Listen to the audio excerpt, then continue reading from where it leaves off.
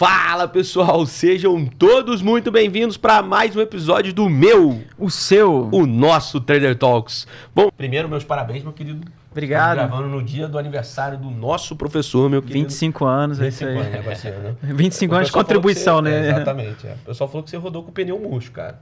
Tá não, meio, eu tô meio... fazendo 31 anos. Tá certo. Então, meus parabéns, viu? Tudo de bom. Podia estar tá melhor, mas não tá ruim, não. Dá certo, né? Bom. Exatamente. Coxinha, um episódio especial. Que é um presente de aniversário. Um presente de aniversário. Presente de aniversário, duas pessoas que eu acompanho já tem bastante tempo. A gente não se conhecia pessoalmente, mas é, são duas pessoas que eu admiro muito a forma de olhar mercado.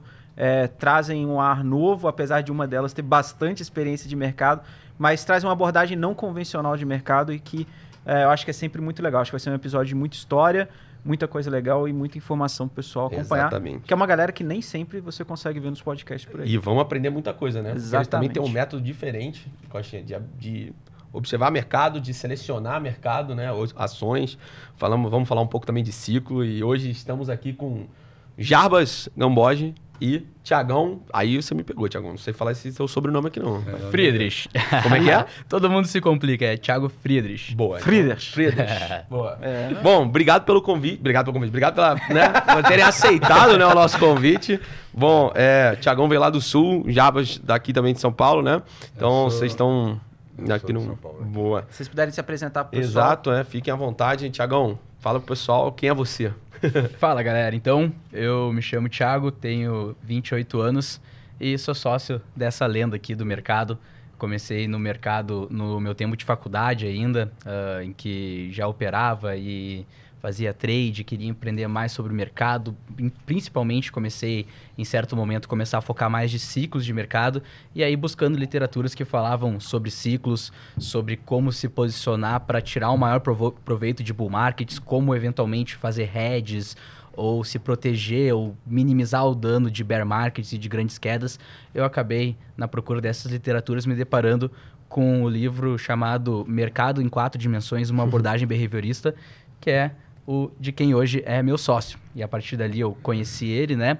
Uh, comecei a assinar a newsletter que ele tinha, começamos a estreitar relações, trocar e-mails e tal, até que em determinado momento acabei propondo ele de fazer uma sociedade junto e desde então estamos há quatro anos junto nessa jornada. Boa, parabéns, viu? E você é formado em Direito, né?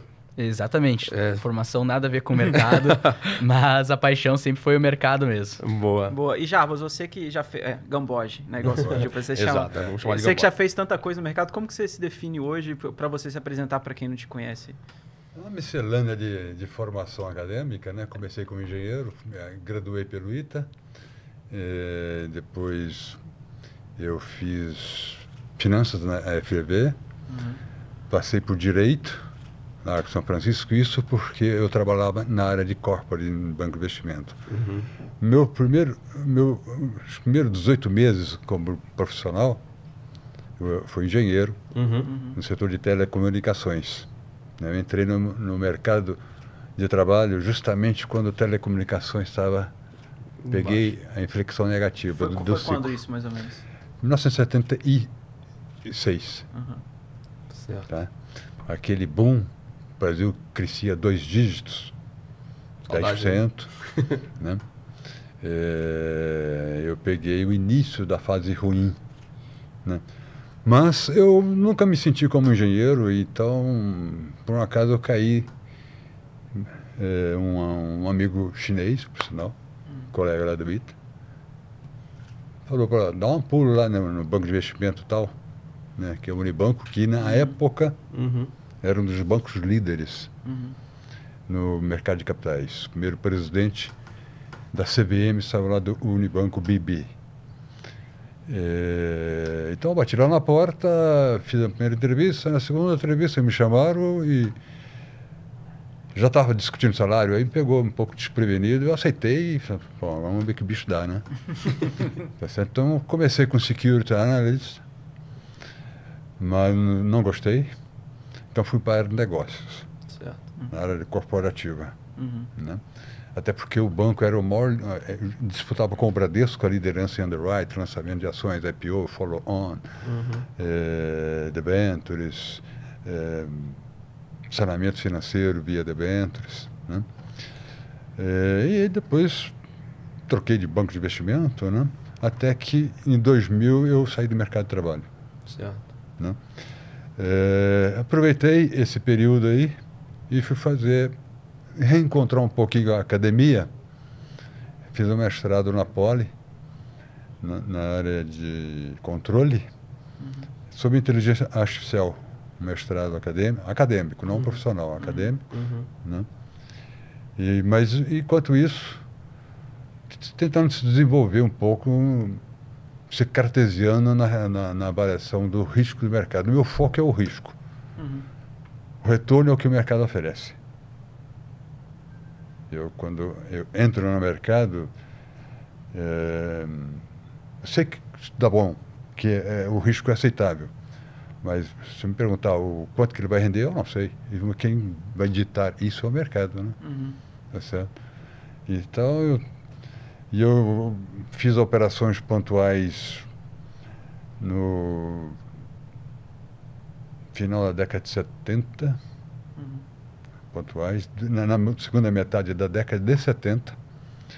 Aí foi intensificando devagarzinho, é aí sim, aí mesmo quando na área corporativa eu comecei a me envolver muito mais, dava para dividir o tempo, até que também eu passei a gerir, além de tomar conta da área corporativa, gerir a carteira interna do banco, né, com mais de mercado futuro de, de Bovespa. Entendi. Uhum. Então era meio que uma. Você fazia a gestão também do. do, do- Da, da carteira. Da carteira. proprietária. Mas nessa época É. já em mercado futuro. Só no mercado futuro. Ah, só no mercado futuro. Só no mercado futuro. Mas aí nessa época era, era na- no pregão mesmo. Ia lá, ou tinha um operador que ficava. Não, eu, eu, quando eu não estava viajando, né?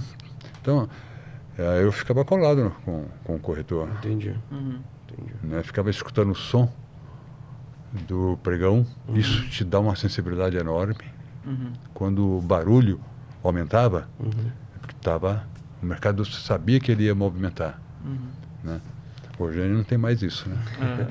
Você não é o primeiro que já falou isso É, aqui. exatamente. A gente, já trouxe é. uma galera que, que justamente comentava isso, inclusive um, um, né, o CIO ali do Portfolio Solutions, que é o Marcelo Santucci, Hum. e ele contando que quando ele estava aqui, ele tinha experiência de ouvir o pregão, e aí ele foi trabalhar lá fora, na, era uma mesa de título soberano, não, não lembro qual que era a mesa Era específica, Uhum. e que ele achou muito esquisito, porque ele chegou lá, era tudo meio silencioso, assim, ele achava estranho pra caramba, Aham. né, justamente essa falta de... Dessa, dessa percepção, assim. Essa agitação traz uma informação muito relevante. É, com certeza, imagino. Né? E, e Tiagão, a, a gente vai voltar um pouco mais na história do Gamboge também, mas como que o mercado chegou na sua vida e depois né, o- a gente segue aí na história que o Gamboge estava contando do- da passagem dele. Eu acho que isso aí é bem Uhum. legal também que o pessoal vai gostar.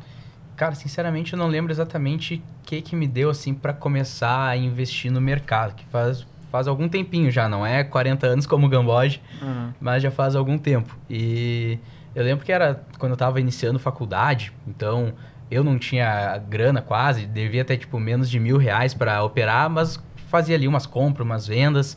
Ah, já era depois, ah, depois de, de meados de 2016, então o mercado tava num bull market forte. Cara, não, não entendia nada, mas ganhava grana, porque naquela época tudo subia, tudo né? subia, né? Uhum. Era só tu não ficar short que tu acabava ganhando grana. E aí, em dado momento, a, a minha avó, que tinha uma reservinha, ah, falou pra mim, Thiago, vou te emprestar 10 mil reais aqui pra tu poder se desenvolver aí no mercado. Hum. E aí, durante algum tempo, fiquei operando com esses 10 mil reais. Aí a gente combinou de dividir o- os lucros, né? Uhum. E aí fiquei operando com, com essa grana. E depois, mais tarde, em meados da facul, comecei a estagiar, aí já consegui aportar um pouquinho mais e tudo mais, né? E, mas sempre tive muito essa vontade aí de de estar no mercado e poder operar com uma grana mais significativa, que eu vi que mesmo se o cara conseguisse ter um bom lucro percentual operando com um montante pequeno, Uhum. sempre tu nunca vai conseguir, eh, a menos que tu se alavanque muito, né? E não era o, não era o meu caso. Ah, então sempre focava em, em crescer profissionalmente e tal para poder investir que nem gente grande, né? E fui Aham. focando, fui focando nisso ao longo da minha faculdade, bolando ah, um plano para quando saísse de lá poder ah, ter uma remuneração legal e investir melhor. E foi basicamente assim que eu comecei no mercado. Então, E, Tiagão, assim, já aproveitando um pouco do gancho que você. da outra pergunta que a gente né, fez para você com essa, é, da onde que veio esse tua, essa tua vontade para aprender um pouco mais sobre ciclos de mercado? Porque você pegou numa época em que o mercado só subiu praticamente. Aí então o mercado levou um susto ali. Tá, tudo bem. No final de 2019 o mercado já não estava mesmo aquela, aquela né, pujança, podemos dizer assim. Mas em 2020 a gente vem um choque né, muito grande com o Covid, um mercado totalmente diferente que muita gente não tava, nem viveu e né, nem lembrava, assim, né? Reviramos livros para tentar entender o que estava acontecendo, o que, que esperava para frente. E da onde surgiu o interesse para estudar ciclos e chegar depois né, no, no Gamboja ali, né? Da onde veio isso? Porque você pegou um mercado, como eu falei, numa pernada muito, muito direcional. E a gente sabe que o mercado, 90% das vezes, ou até, ou até mais do que isso, não é direcional, né? O mercado normalmente fica bem mais truncado e travado do que realmente em fortes e fortes pernadas, né? Total. Não, eu peguei, eu comecei numa época muito boa, uma sorte que eu gostava de ver, além do que estava acontecendo no momento, e se tu puxava ali o gráfico do Ibov um pouco mais para trás, né? Tu via ele de 2010 ao início de 2016, queda atrás de queda, né? Uhum. Algo bizarro, assim. Então foram seis, me... foram seis anos praticamente de queda, com o CDI em boa parte desse momento rendendo dois dígitos percentuais uhum. ao ano. Então além de tu estar tá perdendo ali uh, ao longo de vários anos o teu patrimônio em termos nominais, se tu vai botar uh, descontando ali a taxa de juros, o que tu estaria ganhando na renda fixa, uh, fica algo, fica uma perda monumental, né? O custo uhum. de oportunidade além, do, além da queda nominal. Então foi algo que eu comecei a ver e se eu conseguisse aproveitar as fases boas do mercado e de algum momento e de alguma forma pelo menos diminuir o dano das fases ruins, né? Para não ser aquela instabilidade, porque eu vi que às vezes o, o mercado assim como subia, às vezes caía muito e, por exemplo, vamos supor ali na crise de 2008, o Ibovespa caiu 55% em questão de um ano, mas assim como caiu 55%, depois no ano seguinte voltou para a máxima histórica, né? Então, se tu tivesse uh, simplesmente rodado ali durante aquele período, tu e aguentado a queda ali sem, sem se desfazer, sem capitular, tu ia ter voltado a ter o mesmo portfólio, o mesmo valor que tu tinha ali antes da crise. Uhum. Mas tu conseguisse se desfazer das tuas ações, não precisa ser no topo, mas uh, próximo ali e recomprado também, não precisa ser no fundo, mas a preços mais baixos, tu ia ter praticamente dobrado teu teu patrimônio do, num curto espaço de tempo, né? Uhum. Se vocês vão ver em 2020 foi mais ou menos isso também, que o Ibov caiu dos 120 para 60 e poucos, depois de 60 e poucos ali para 120, 130 em um curto espaço de tempo, né? Então esses crashes Uh, normalmente, quando a queda é rápida, a alta uh, seguinte também costuma ser rápida. Então, tu pode não só se proteger para ter menor dano psicológico e do teu patrimônio, mas até aproveitar esses momentos se tu conseguisse surfar os ciclos, né? Uhum. Então, isso foi uh, trazendo a minha atenção e eu via também, por outro lado, muita gente falando que não tinha como tu uh, se posicionar diante dos ciclos, assim, que tu tem que simplesmente comprar ações mensalmente e, tipo, e focar no longo prazo. Mas eu pensava, cara, será que não tem alguma forma, é óbvio que não tem como prever o futuro, mas alguma forma de tentar calibrar a exposição diante desses momentos do mercado e tal. E aí fui buscando algumas literaturas nesse sentido, até que eu me deparei com o livro do, do Gamboge. Caramba, que bacana. E aí é, é interessante você contar a história, né, de como que você que você falou que começou a assinar a newsletter dele, e aí justamente no, em 2020 o modelo tinha apontado, né? Uhum. Como que foi isso aí? É, eu comecei a assinar a newsletter dele daí em 2019, que quem comprava o livro ganhava duas semanas gratuitas da newsletter. Aí passou minhas duas semanas gratuitas, aí eu comecei a pagar ali para me tornar assinante dele e fui acompanhando. Vi que hum. o track record anterior era bem legal e tal, mas uma coisa é tu olhar agora o que aconteceu no passado e outra tu tá acompanhando, Sim. né? E eu fui acompanhando algum tempo, algum tempo, aí virou o ano, foi para 2020 e aí em janeiro de 2020 ele falou para zerar a carteira de ações. Uhum. Aquilo foi um choque para mim porque principalmente ali tô acompanhando os fóruns de mercado, FinTwitch e tal, uh, ninguém tinha essa análise. Era bem pelo contrário, era um momento que a bolsa estava dando muito ganho, né? E o pessoal bastante otimista, assim, que, que ia continuar e tal. E foi algo que eu até vi, assim, eu não, não comprei muita ideia dele, mas vi ali, não, ele mandou Sim. zerar, vamos ver. E aí o mercado ficou se enrolando mais, mais algum tempinho, né? Isso aí foi em janeiro, aí em fevereiro ele se manteve lateralizado, próximo das máximas e tal, até que em março veio veio o crash, né? E aí quando uhum. veio o crash, ele estava de fora e eu não via mais nenhum, mais nenhum outro analista assim ter dito tipo zero em Uhum. toda a carteira. Foi algo que realmente me chamou a atenção. Eu vi, pelo menos dessa vez aqui, eu vi que ele realmente conseguiu surfar o ciclo de mercado, aproveitar a alta e acabar ficando de fora da queda. E aí, ao longo desses meses, eu já estava estreitando as relações com ele, trocando e-mails e tal, eh, que ele me respondia com ah, solícito. Então, aproveitei e vou, vou encher o máximo de saco possível desse cara enquanto ele não me manda merda para absorver, pra absorver o máximo de conteúdo possível dele aí, né? E aí, até que em dado momento, eu falei, cara, eu realmente fiquei fã desse método. Eu vi que tu fez algo que ah, ninguém mais ouviu fazendo Aham. E eu conseguiria te, te ajudar para a gente criar um negócio a partir dessa tua newsletter que eu vi que, é, ah, que era algo mais de brincadeira, que tu escrevia para ti, para meia dúzia de pessoas e a gente constituía um negócio a partir disso, né? E aí, não sei o que, que deu na cabeça dele também, que ele topou, né? Aham. Viu um garoto falou, Já "Viu tava um garoto, eu tinha, eu tinha meus 24, 25 anos na, na época. E mesmo assim, ele acabou, acabou topando, né? E aí, desde então, a gente começou o projeto da Quad. Uns quatro meses depois, a gente ah, lançou a empresa oficialmente.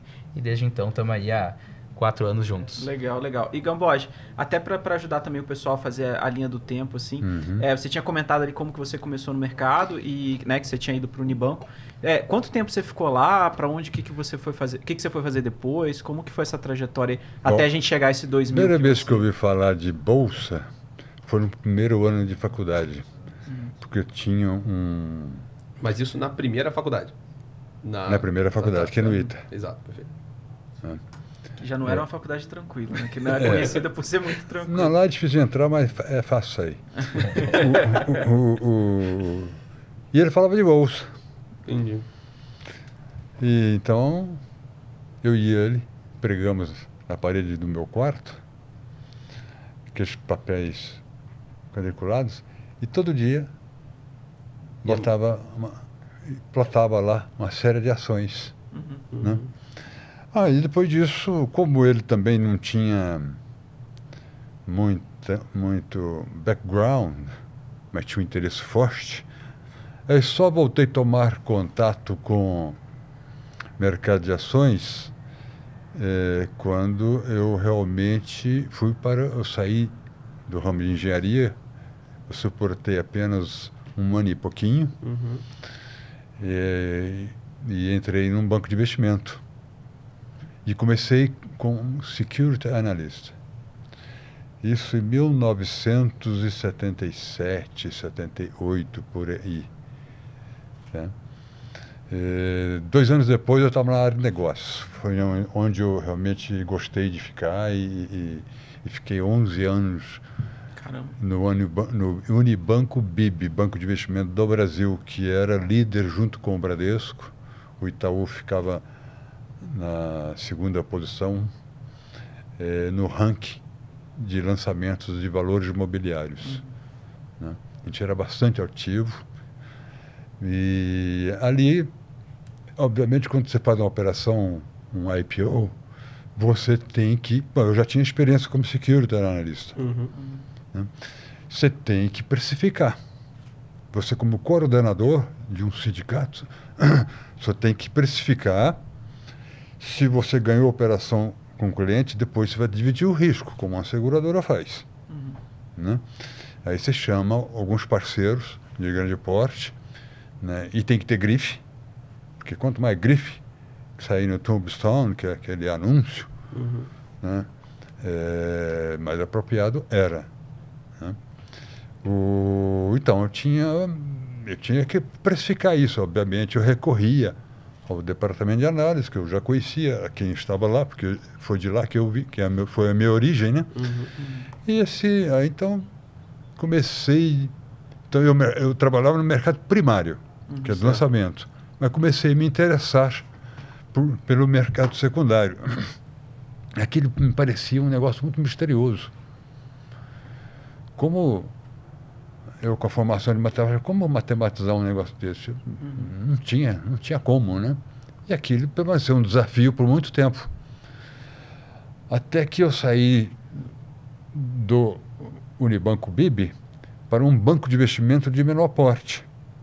Foi quando eu também eu comecei, eu tive um, um excelente professor, um PhD, PhD de Stanford, brasileiro, mas de origem húngara, né? que uma formação macroeconômica muito boa, né? E ele, no início, ele não, eu até me candidatei porque eu achava que achava que era que conhecia alguma coisa e vi que eu não uhum. conhecia nada, né? Ele não permitiu. Com a evolução, eu fiquei muito tempo com ele. A gente mudou de outros para outros bancos de investimento, uhum. sempre acompanhando ele. Então já deu uma primeira evolução, né? Mas na parte macroeconômica, eu não tinha essa formação, né? É, aí comecei a operar índice futuro, na pessoa física, até que chegou um momento, ele como vice-presidente e eu como diretor, ele delegou para mim a parte de trading também, uhum. além da parte corporate. Como era um banco de investimento menor, você tinha essa flexibilidade. Qual, qual era o, o, banco? Esse é, é, o banco da família do, do era o Banco Fibra. Uhum. Uhum. Antes era o Banco BMG. Uhum. No BMG tinha lá um, um, um, um, majoritário, ele foi o maior especulador de bolsa brasileira na década de 70. Uhum. É, ah, que legal. Da família Pentanha Guimarães, muito uhum. tradicional em Belo Horizonte. Uhum. Ele tinha um faro enorme. É... E aí foi evoluindo, mas ainda continua sendo um grande desafio. Né? É... Aí deu um estalo, um eureka, eu tenho que olhar o risco, eu tenho que ter alguma métrica de risco. Pode ser representado por um número ou por alguma conceituação. Né? É, então, eu, eu, tenho que olhar. Aí, com a parca literatura da época, era muito difícil. Né? A internet começou no final da década de 90. Uhum você tinha que importar livros, né? Uhum. Você lia, lia livros, era, era um caos. Isso aí estamos falando de 1990, ali no 80. É, na, de, na segunda metade da década de 90. Na verdade, eu comecei a intensificar a partir do início da década de 90. Certo. Uhum. Né? Como todo engenheiro, começou com análise grafista, né? Uhum. Então, eu ia rotineiramente na corretora com o chefe de, de análise gráfica oh, numa quarta-feira à, à noite e ficava assistindo a palestra do cara, falando isso, daquilo, né? Mas estritamente na parte gráfica. Mas com o tempo eu verifiquei que isso era insuficiente. Aquilo é como se eu estivesse dirigindo um veículo numa estrada, eu conseguia enxergar cinco metros só. Entendi. Se tinha uma curva e se vinha um caminhão, eu não, não tinha a menor noção. Então, então falta alguma coisa. Uhum. Aí comecei a, a, a uh, estudar um pouco macroeconomia. Uhum. Né? E não que eu seja um economista. Eu sempre procuro uma opinião de quem se dedica mais ao assunto, uhum. né, para você já tem mais ou menos o faro, mas você precisa ter, seria é bom ver um bom economista também ter a mesma Sim, a mesma linha, né? Tá certo? Aí, por exemplo, se falar, falar em hiperplano, hiperdimensões para uma, uma, pessoa que tem formação de matemática é, é natural. Uhum. Então, bom, aí eu vou olhar o mercado, não sei quando é que eu tive essa ideia, e, e não tem nada de novo nisso, uhum. hein? Apenas eu tentei botar ordem nesse caos. Uhum. É, então, elegi quatro dimensões que já dá um hiperplano, né? Uhum. Já. Né? Valoração, se está caro ou barato. Price action, uhum. que dá o timing. Né?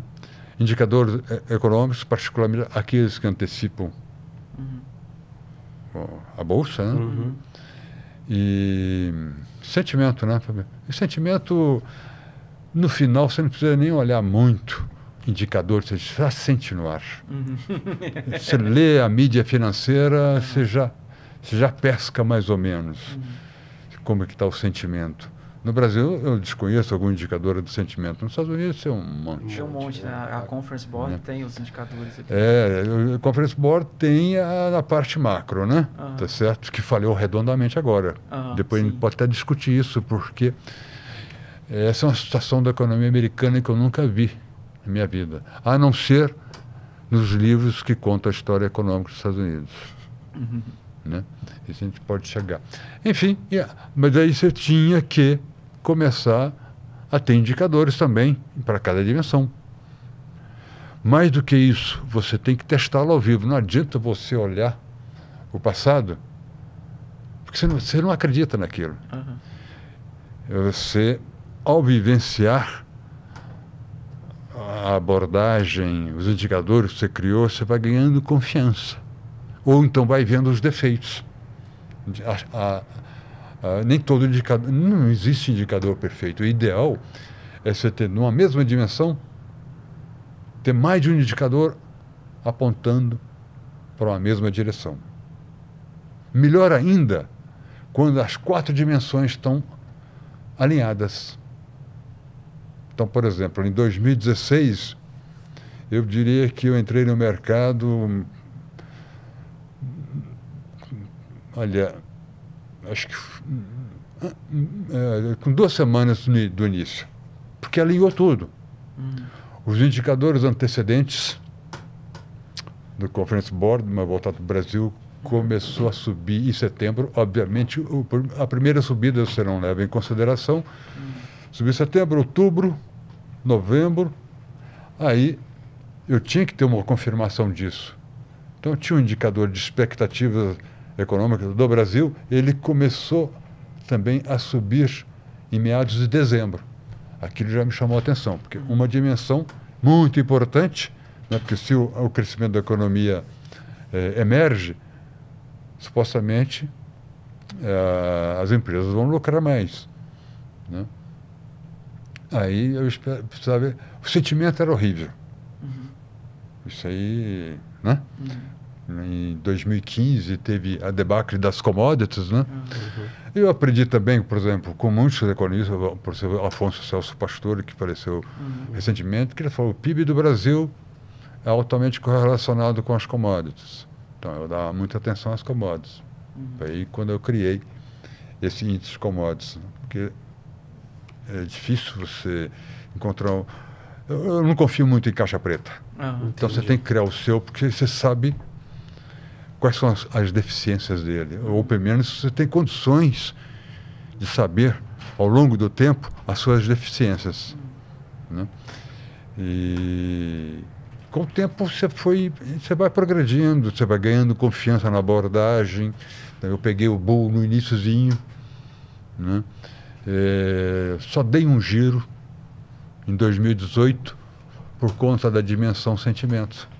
E também por conta do price action, que estava exuberante demais. Tem alguns indicadores que mostraram extrema exuberância. Mas o gatilho final, aquele empurrãozinho, foi porque um grande trader, que no Brasil, que eu não vou citar o nome, falou que o Ibovespa ia para 180 mil. Uma coisa que eu dou muita importância é a expectativa coletivas. Uhum. Tá massa. Não importa a minha, não importa a do Tiago, não importa a do Paulo, da Maria. O importante é as expectativas coletivas. Mais do que isso, são as mudanças. O pessoal critica muito, por exemplo, a Fox, o Boletim Fox, que eles erram sempre. É óbvio que vai errar. Eu quero até pegar. Aquilo ali é uma peça interessante, porque o importante é a mudança nas expectativas. Não é a expectativa em si Interessante. né? É a mudança. né? O- enfim, o a abordagem foi ganhando confiança, etc. Eu testei ele, eh, me livrei da, da debacle em 2008, já com modelo. Né? Então eu saí da bolsa em julho, por quê? Julho de 2007, porque o S&P já estava mostrando degradação. Os lucros da carteira do S&P começaram a fazer uma inflexão negativa. Os, os spreads dos títulos high yield de alto risco, corporativos, começaram a subir. É, os indicadores do Conference Board começaram a envergar para baixo. E teve o início de uma grande volatilidade no mês de agosto de 2007, se eu não me engano, tá? Então, só, estou fora. Não sei o que vai acontecer, mas estou fora. Eu sabia também que o, os preços já estavam um pouco caros. Né? E o mercado ainda subiu, depois de muita volatilidade, em 16, 17 ou 18 de setembro de 2007, o Ben Bernanke, ele cortou a taxa acima da expectativa. Isso foi o suficiente para o mercado ainda ter uma sobrevida de três semanas. E fez um topo em 11 de outubro. Uhum. Né? O mercado de commodities só foi fazer um topo em dezembro. E o Brasil era o queridinho. Uhum. Né? Foi capa da revista The Economist, né? É, mais de uma vez. Né? Só que tinha insider naquele upgrade para títulos soberanos. Porque eu sondava, eu notava a resiliência do Ibovespa já estando fora uhum. e não entendia. É, o Brasil não está no front. Né? Quem comanda, a gente sabe que é, são os países com economia desenvolvidas né, de grande porte, particularmente a, a norte-americana. Né? Então eu soube desvender o mistério no dia 30 de abril, quando veio o upgrade, que era esperado para 2009. Uhum. Ainda deu uma, pouca, uma pequena sobrevida. O upgrade é o grau de investimento, no caso. O grau de investimento, né? Uhum. Foi uma alta fantástica, uhum, né? É, eu estava fora. Mas eu exercitei um pouquinho a musculatura, comprei um pouco de índice futuro, também não fazia muita diferença, saí uma semana depois e continuei a ficar olhando. E interessante que o mercado tem seu timing. Nós estamos vendo esse mercado aí, discute se tem uma bolha ou não, uhum. mas uma hora, essa é a minha experiência. Uhum. Eu já peguei várias bolhas. Uma hora o mercado vai dar o sinal. Uhum. E as, as dimensões vão se alinhar. Certo. Por enquanto não estão alinhadas. Né? Então passou por esse teste. É, aqui no Ibovespa, né? o, o, passou no teste do início do bull market em 2016. Aí você vai ganhando confiança. Né? Segurei até. Só deu um giro quando eu vi esse gestor em 2018. Uhum. Porque acho que, se eu me lembro bem, o Trump, ele, ele adotou uma política fiscal, fiscal não, é, é tributária, né? editou uma lei que afrouxou as, as condições que a, a, a alíquota, né? Uhum. Que vai prevalecer até o ano que vem, hein? Então, ano que vem é importante porque se ela não for reeditada, corta um pouco a margem de a margem de lucro das empresas americanas, tá? É...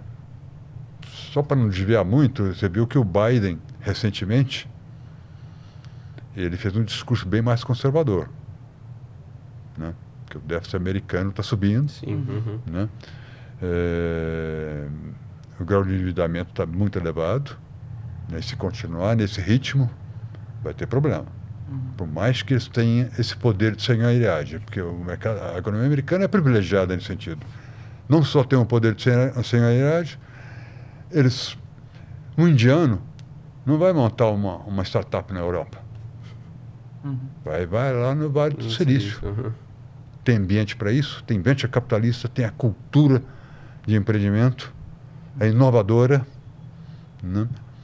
é, lucro não é pecado, uhum. Né? e, e, e, e, imigrante com talento vai para lá. Até, teve, eu estava vendo os números de, de imigrantes, até mexicanos, coisa, isso aumenta. Isso, isso é um, do, um dos fatores que o salário não tem subido tanto assim lá, né? Tá até uhum. em taxa de crescimento está caindo, né? Então aquela economia privilegiada pela cultura do povo, quem já leu economia uh, uh, sobre a colonização americana, você compreende por que ali é diferente. Né? A religião era outra. Né? A religião católica condena o lucro, enquanto a calvinista, que privilegiava, que era dominante na, na economia, na, nos cidadãos americanos daquela época, é, se era fruto do trabalho, então é abençoado. Uhum. Então é uma abordagem muito, muito diferente. Aqui, uhum. quando nós tínhamos um, um, um, palácio, tinha um imperador que morava no palácio, a Casa Branca era uma palhoça. O americano, no século de 1800, era extremamente hostil ao governo.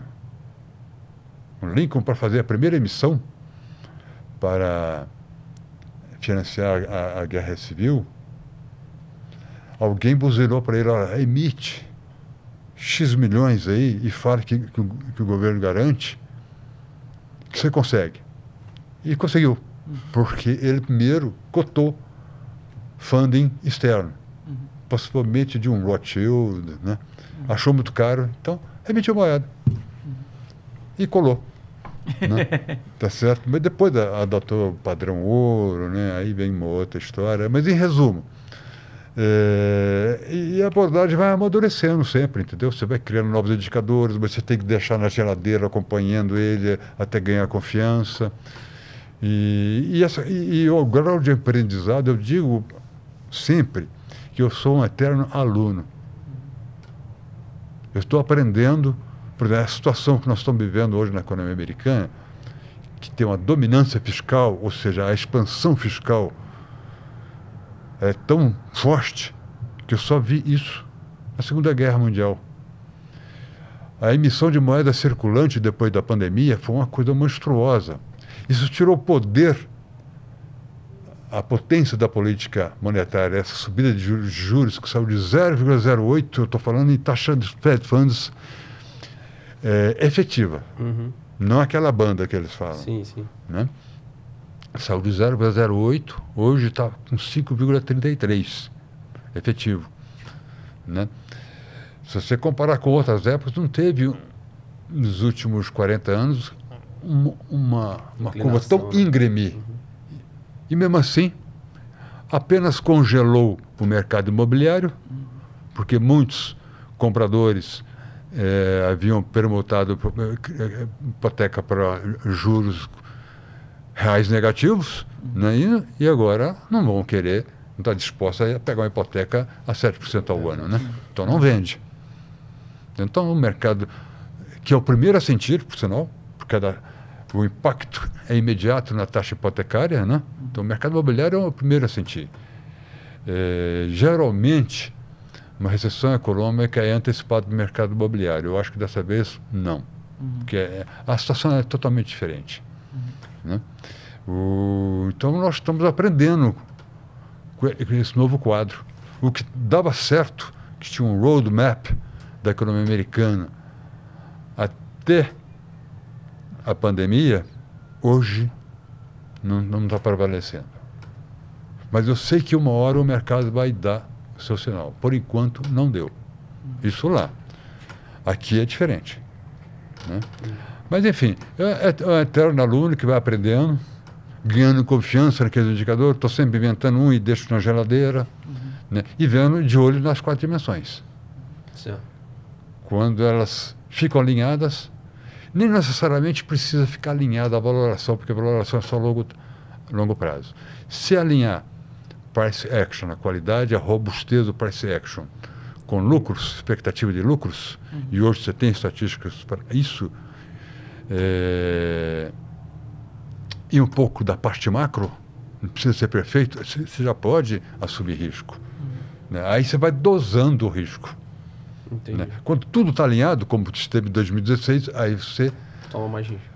Toma muito risco. Você pode tomar muito risco. Uhum. Então, as quatro dimensões, a gente pode definir que ela te dá uma base de dessa. É como se fosse um velocímetro do risco. É, é, assim. é a mesma coisa que você olhar o mercado por várias facetas. Entendi. Né? Cada um te passa uma informação. Uhum. Né?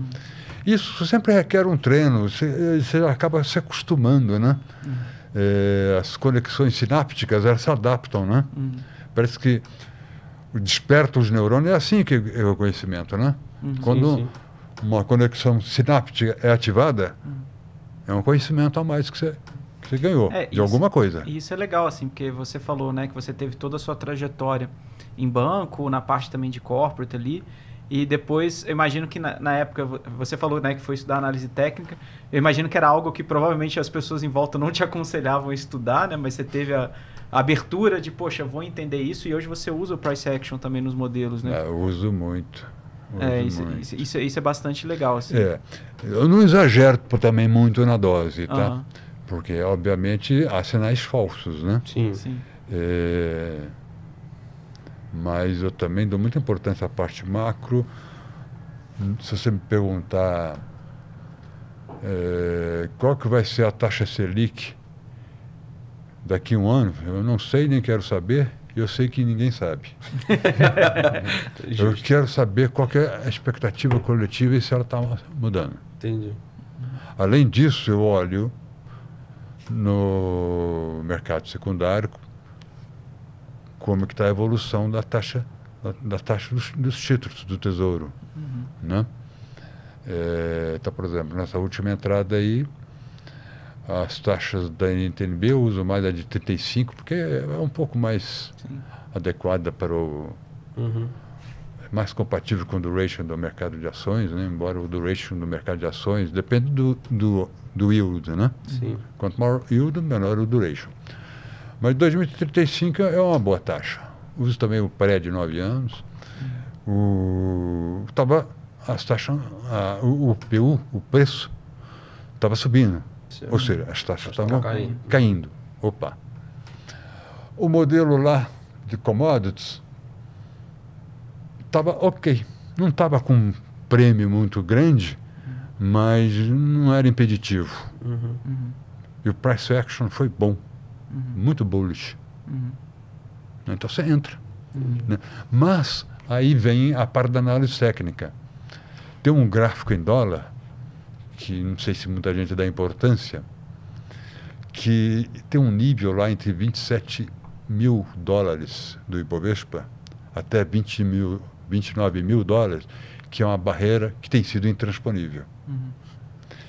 É, ele foi, esse nível foi violado em 2013.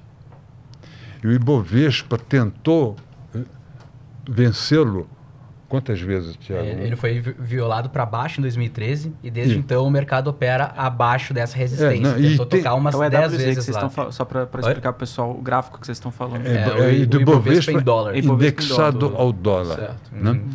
E ele já tentou, já beijou essa, essa fronteira umas nove vezes, né, Tiago? É, por aí. Umas nove vezes sem sucesso. Certo. E nós estamos aí em 20.500 dólares. Então, já é, é um, um indício a mais, é um indício para você ficar cauteloso e não enxergar muito potencial de alta. Uhum. Entendi. Mas, um indicador só Não é o suficiente, né? não é um holy grail, ele não vai Uhum. desvendar o mistério do mercado. Uhum. né? Aí você vê outras coisas, né? Você vê agora mais recentemente o dólar está subindo um pouquinho, o que, que vai fazer o Copom, você... Eu não sei o que, que o Paulo disse hoje, porque ainda não... Mas é, ele tem um viés dovish. Sim. Uhum. Né? Eu suspeito até que a Janet Yellen tem um- uma baita influência ali, tá? Porque ela foi presidente do. Federal Reserve, né? Uhum. É, e o corpo, a maioria é democrata, Uhum. né? E compra essa tese aí da teoria monetária moderna, que você, Uhum. déficits não importam. Para os Estados Unidos, isso vale por... Mas tem seus limites, né? A gente nunca sabe qual é o limite. Né? Eh, e aí depois vem esses ruídos políticos, né? Uhum. E eu tenho alguns economistas que eu acompanho e que não dão muito as caras, mas quando dá as caras eu, eu assisto, que eu posso citar aqui, o, o Marcos de Lisboa, Sim, muito bom. Né? O pessoal apelida ele de Diabo Hein? Louro, né? Diabo Louro. E ele é um cara muito curioso, Uhum. né? Marcos Mendes, Sim. A dupla com ele. Exato. né? Então, antes, o Afonso Celso Pastore, que eu tive muito contato com ele, Uhum. porque nesses bancos de investimento ele era contratado para periodicamente dar um pulo lá e. Aqui, aqui ele fazia também direto, né? É, né? É. e então você aprendia muito com ele. Uhum. Né? Criava ele de pergunta. Ele não tinha muita paciência, não, mas. né? Não sei como ele era aqui. Tá certo? Mas. Enfim, essa foi a evolução. Entendi. E, e Gamboja, é só. eu- Uma coisa que eu acho interessante, né? Igual eu falei, eu já, li- já li o seu livro. Não vou ficar entrando tanto em detalhe também pra galera depois pesquisar e procurar Hum. saber. Mas você fala que é uma abordagem behaviorista.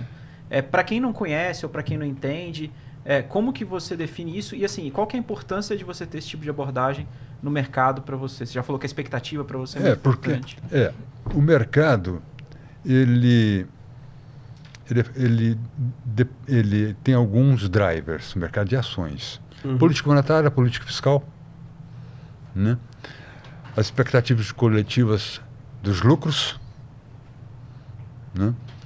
E propensão ao risco. Aí entra o behaviorismo. O, o ser humano nem sempre adota é racional, em- principalmente se tratando de dinheiro. Aliás, você tem que partir da premissa que tem um- sempre uma dose de racionalidade. Essa dose de racionalidade, ela às vezes, é, no- no estágio final de um mercado touro, é intensa essa dose, porque tem muitos amadores. Certo. Tem euforia. No início de um ciclo de bull market, essa dose é bem menor. Né? Então, você tem vários, vários vieses que você tem que evitar. É, viés do conservadorismo, você se apegar muito a uma ação, né? tem que ser desprendido. né? Só tem um viés lá que eu acho que realmente é mais benéfico, Qual? que é o da familiaridade. Você tem que entrar num negócio que você conhece e que você tem que ter vantagem competitiva. Senão, fique fora. O que, que seria uma vantagem competitiva? Você tem conhecimento, experiência e um, e um track record bom. Certo. Então, bom, por exemplo, eu não vou entrar no mercado indiano, que dos, emer- dos emergentes, ele tem um múltiplo que se compara com o do S&P. Uhum. Certo. É porque eu não conheço nada da Índia.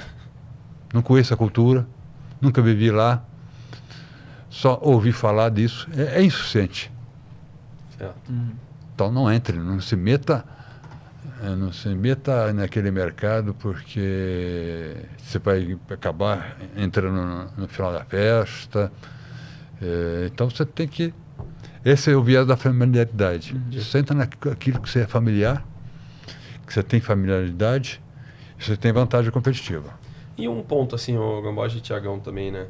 É, dentro do- dessas quatro dimensões, tem momentos que você tem que ser um pouco mais agressivo, tem momentos que você É. toma só uma parte, tem momentos que você tem que ficar de fora, tem momentos que você Uhum. está com aversão a risco. É. Como que é para vocês aguardar a tomada de posição? Como Olha- é que é para vocês ficar olhando a tela, às vezes se confron- confrontando, às vezes com essas quatro dimensões É, tem- e com o preço oscilando, entendeu? Ok. As oscilações são ruídos, né? Você tem que Sim. separar os ruídos. E geralmente quando duas dimensões já se alinham, particularmente alguma coisa do, do aspecto macroeconômico e o price action, Certo. e também lucros, né? É, aí seria o suficiente para você assumir risco. É, Como eu te disse, eu não consigo traduzir em número. Mas o treinamento das, da rede neuronal nossa, que tem uma extrema plasticidade, né, muito mais plasticidade do que esses algoritmos aí, porque ele se ad- adapta muito.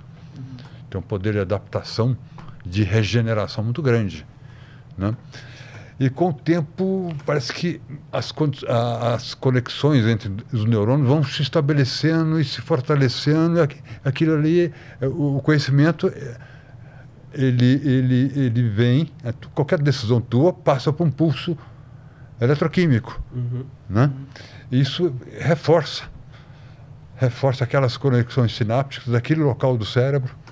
Né? E com o tempo você vai ficando mais à vontade, com menos temor de, de tomar risco, porque você sabe que viu.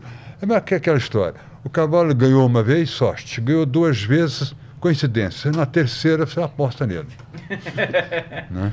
E, e a questão também é muito do alinhamento das dimensões, né? Porque há momentos em que as quatro dimensões apontam claramente assim para algum lado e há momentos em que, uh, por exemplo, vamos supor, em 2016 que o Lombard falou que as quatro estavam alinhadas. O que, que é as quatro dimensões alinhadas ali? O valuation muito barato, sentimento de pessimismo, vocês vão ver ali, a mídia financeira era falando, uh, uh, tem, tem matéria ali da mídia financeira falando as ações mais difíceis de alugar da bolsa, porque era tanta gente querendo entrar short que era tipo difícil conseguir sim, sim. alugar para entrar short. Aí tu olhava o fundamento ali que ele, que ele falou, indicador antecedente da economia brasileira, do The Conference Board, já fazendo uma inflexão positiva e alguns indicadores uh, de, expectativa econômica uh, do Brasil também já, já subindo. E o price action uh, também já entrando big players com muita convicção na compra. O Gambot tem um algoritmo que ajuda a detectar essa força dos big players, que é um algoritmo mais complexo que isso, mas de forma resumida é, quando o mercado dá uma alta fora do padrão, com volume fora do padrão e fechando próximo das máximas também. E... É, idealmente, idealmente com boa participação. É, exatamente. Mas curiosamente, você vai aprender nisso, geralmente com o bolso, com o bolso afetado. né? Você aprende mais quando o seu bolso é afetado. Então você, se você é, não sentir medo aí e viver aquilo como desafio, né? Toda vez que você sente no bolso, você dobra os esforços. Né? Para aprender esse algoritmo. Lembrou uma vez que eu estava short. Certo. Estava é, confortavelmente short. Me lembro que eu zerei bem, depois de uma subida, shortei de novo. Uhum. Isso o modelo ainda não estava muito desenvolvido, muito desenvolvido não. Estava no início da década de 2000. Certo. Eu já tinha esse algoritmo há mais tempo, só que eu mal consultava ele e não tinha vivência. Eu, falei, é importante você ter vivência. E ele deu um sinal num breakout, ou seja, num rompimento de uma resistência. Uhum. E eu estava short. Aí eu comecei a botar defeito. é. Porque foi muito devido a Petrobras, uma coisa assim. Uhum. Você não pode ter esse tem que respeitar o mercado. Tem que, respeitar, tem que respeitar esses sinais que se deram muito certo no passado. Não vá contra. Uhum. Não vá contra. Eu tive que estopar com um pequeno prejuízo. É. Né? É, então, a palavra uhum. aí para o Tiago falando desse. É, então a gente tem esses momentos de muito alinhamento, como em 2020 a gente tinha falado também, foi exatamente o alinhamento contrário que era o valuation alto, se tu pega uma métrica básica, assim, que é o múltiplo PE forward, preço, preço sobre expectativa de lucros do Ibov, estava atingindo 14 vezes. Se vocês botam um gráfico desde décadas atrás, o Ibovespa nunca superava o múltiplo de 14. É, só um, uma parte aí.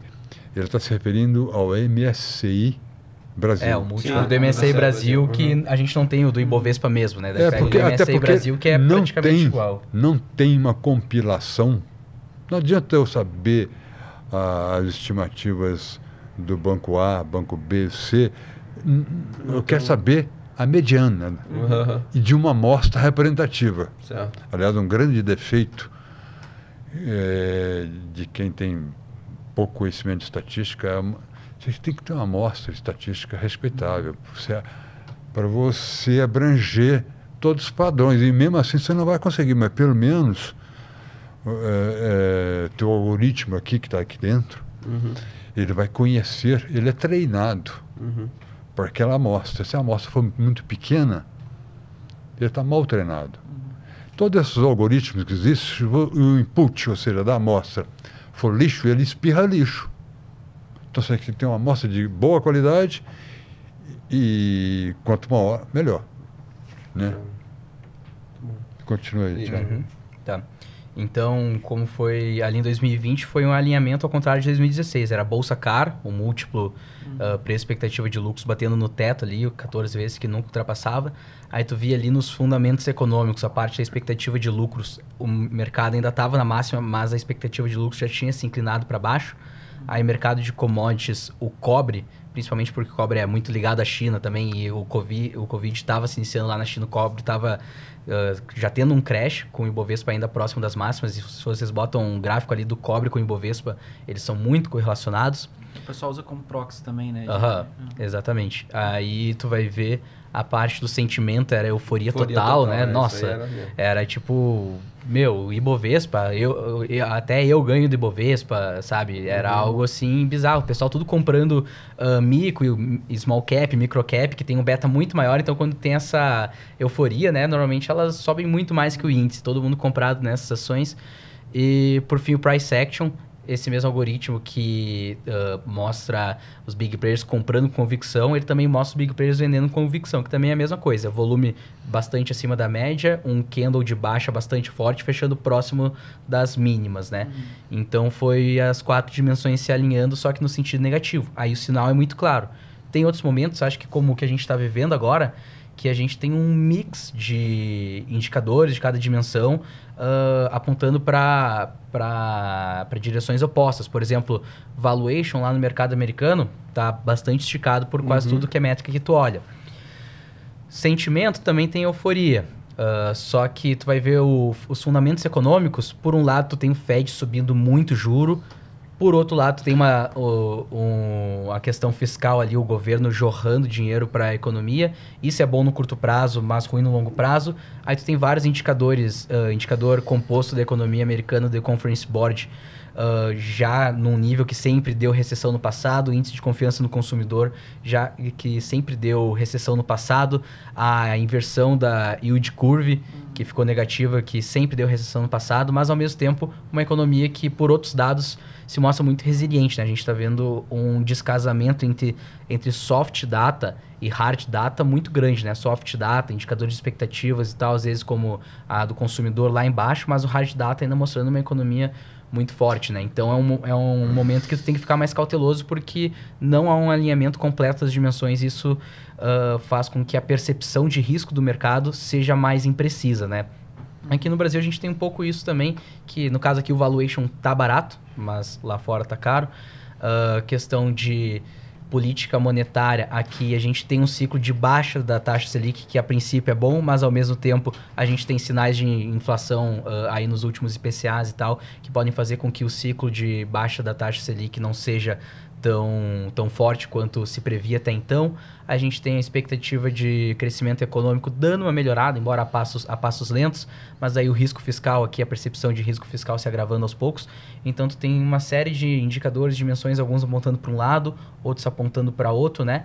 Então tu tem que ser um pouco mais tático nas posições em bolsa, não entrar com todo o teu patrimônio, se tu quer realmente surfar os ciclos, né? Entrar de com posições mais moderadas e assim até, até que haja algum alinhamento nas dimensões para tu poder tomar uma posição mais agressiva, seja entrar de uma forma mais forte ou seja eventualmente zerar posições em bolsa e estar alocando ali num, ah, em ativos como um- high renda fixa e tal, até que algum momento de baixo risco com as dimensões alinhadas seja visto ah, mais claramente, né?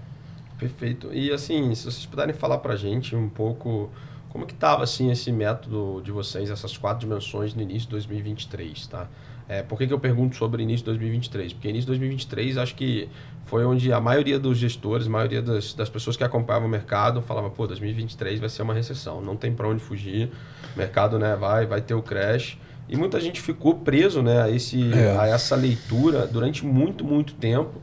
E o mercado não caía, o S&P continuou subindo, veio AI, é, reprecificação de lucros, as empresas entregando resultados cada vez mais fortes É. e a, o mercado não parou de subir. E mesmo com juros também numa, né, numa tocada ainda muito forte. É, como é que foi o modelo de vocês e como é que foi essa visão É. de vocês do mercado? Acho que é bacana compartilhar. É, assim. o... Eu também caí um pouco nessa armadilha. Aham, sim.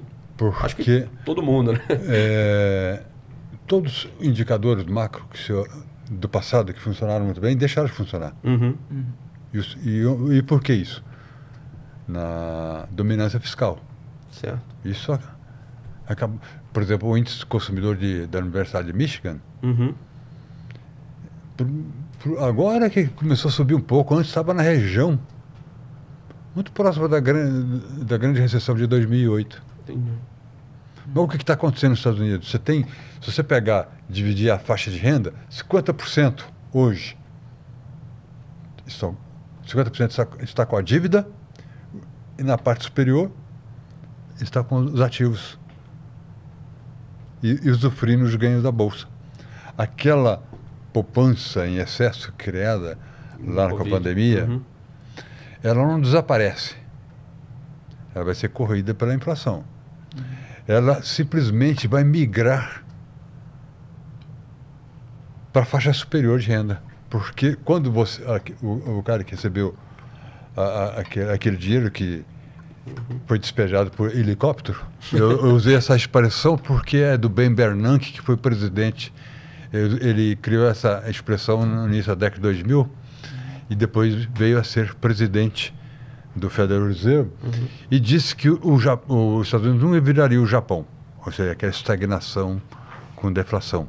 E que se fosse necessário, despejaria dinheiro de um helicóptero. Então ele ganhou o apelido de Helicopter Man. né?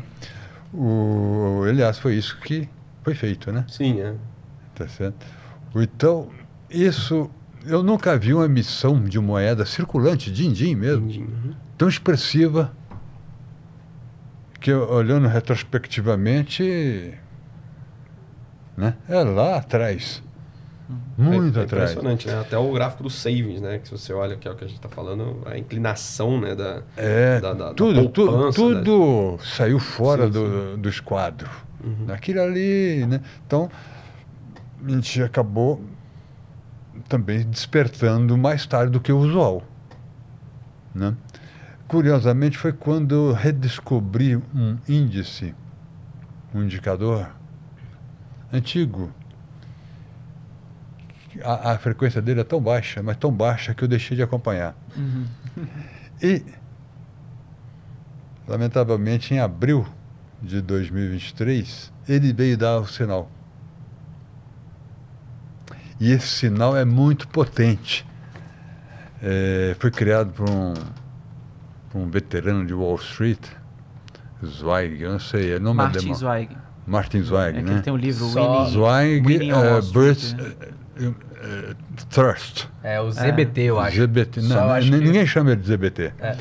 O- o- Ele tem modelos de bons. Aí eu também. botei ele na minha planilha. Eu, todo dia eu já tenho uma planilha com Só isso foi Excel que ele já dá o sinal se, se. Ponto de interrogação é porque ele não foi gerado. Certo. Ok é porque ele foi gerado.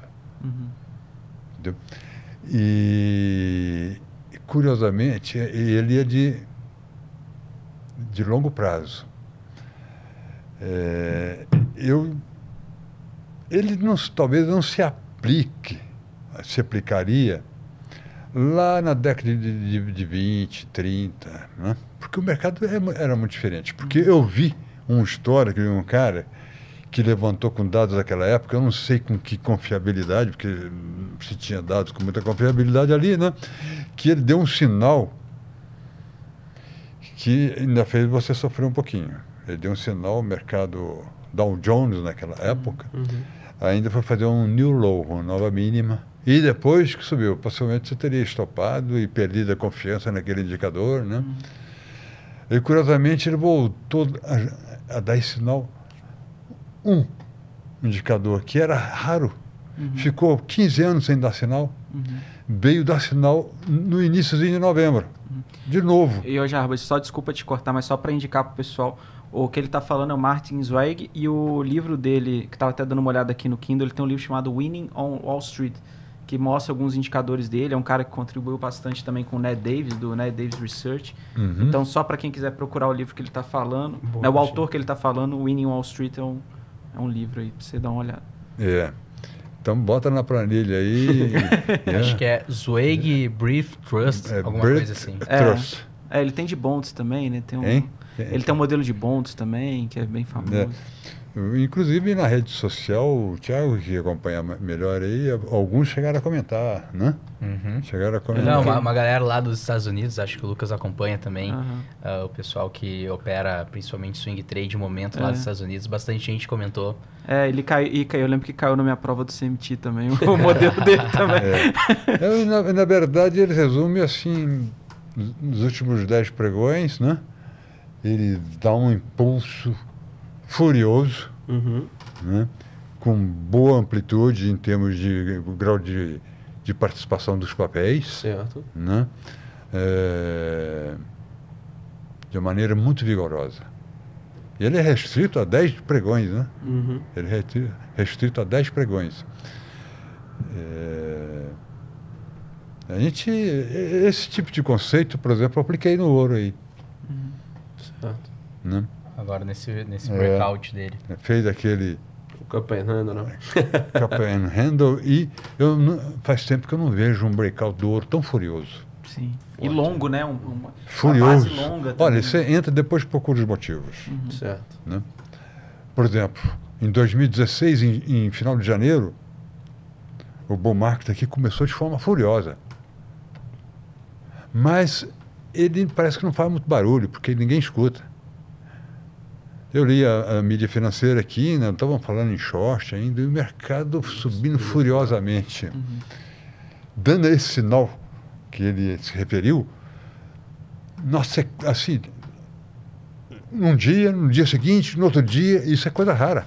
Uhum. E é assim que nasce um bull market, geralmente. Uhum. Cantando É de maneira furiosa.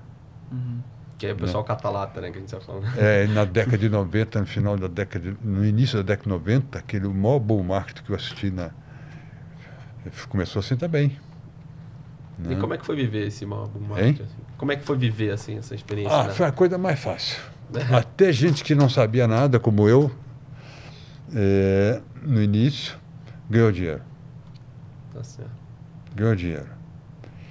E você tinha Telebrás cotada a um dólar. Eu fui o cara que eu insisti com o, BI, a gente era um dos coordenadores, Uhum. para manter uma posição no banco. Certo.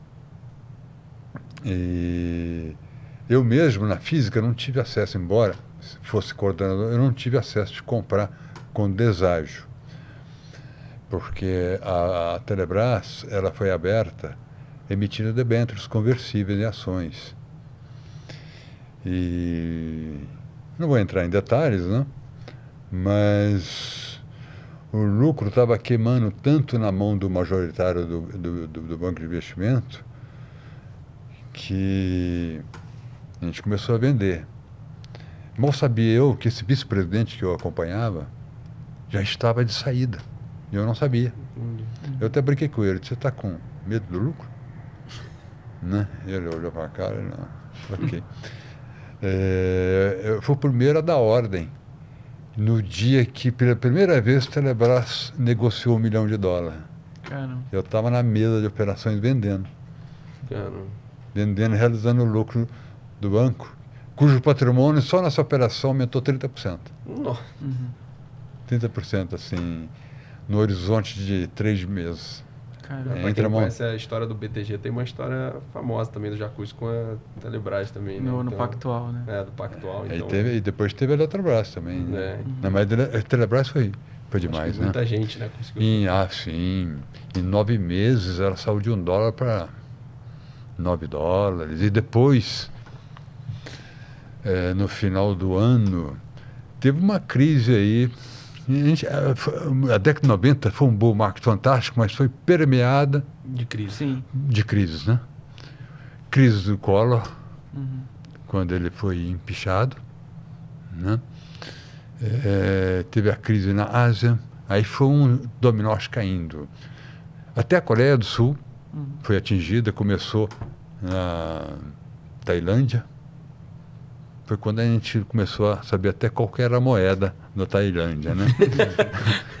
o, o- aí espalhou para para os demais países vizinhos, chegou a atingir a Coreia e mais a- e um tempo depois atingiu a Rússia, né? E veio o calote, né? Uhum. Aqui teve uma queda assim.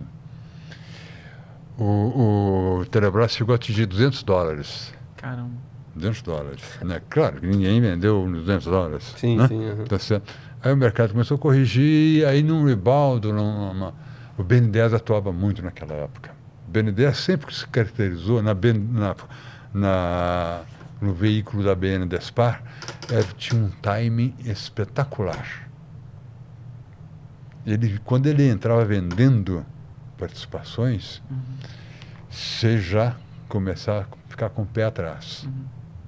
Nessa crise, eh, teve tanta crise, acho que foi do calote da Rússia, eh, gerou muitos desses dias que a gente fala aí do algoritmo, assim, que indicava eh, capitulação. Certo. Uhum. Vários dias de capitulação. Eu Falei, mas não para isso? Até que um belo dia o BNDES entrou na compra e fez um engolfo dos últimos dois dias de, de capitulação, Uhum. mostrado por esse algoritmo. Pronto, tinha que entrar, né? É, o medo era tanto que você não ia entrar com 100%, né? Certo. Você entrava com uma razoável dose, mas é, a situação era tão séria para os emergentes, né? É, e o BNDES entrou na compra e, e, e deu um fim. Né? Cara. Tá certo? E nessa época você já tinha desenvolvido o- as quatro dimensões? É não? isso que eu ia perguntar. Você já usava modelos? Não, ele começou a emergir primeiro na forma de price action, É, certo. tá certo? Porque, lembra, no Sim. início da década de 90, eu frequentava na corretora, Ah, toda quarta-feira à noite, eu ia lá e começava a aprender análise gráfica e tal. E você usava dentro da tesouraria também ou não?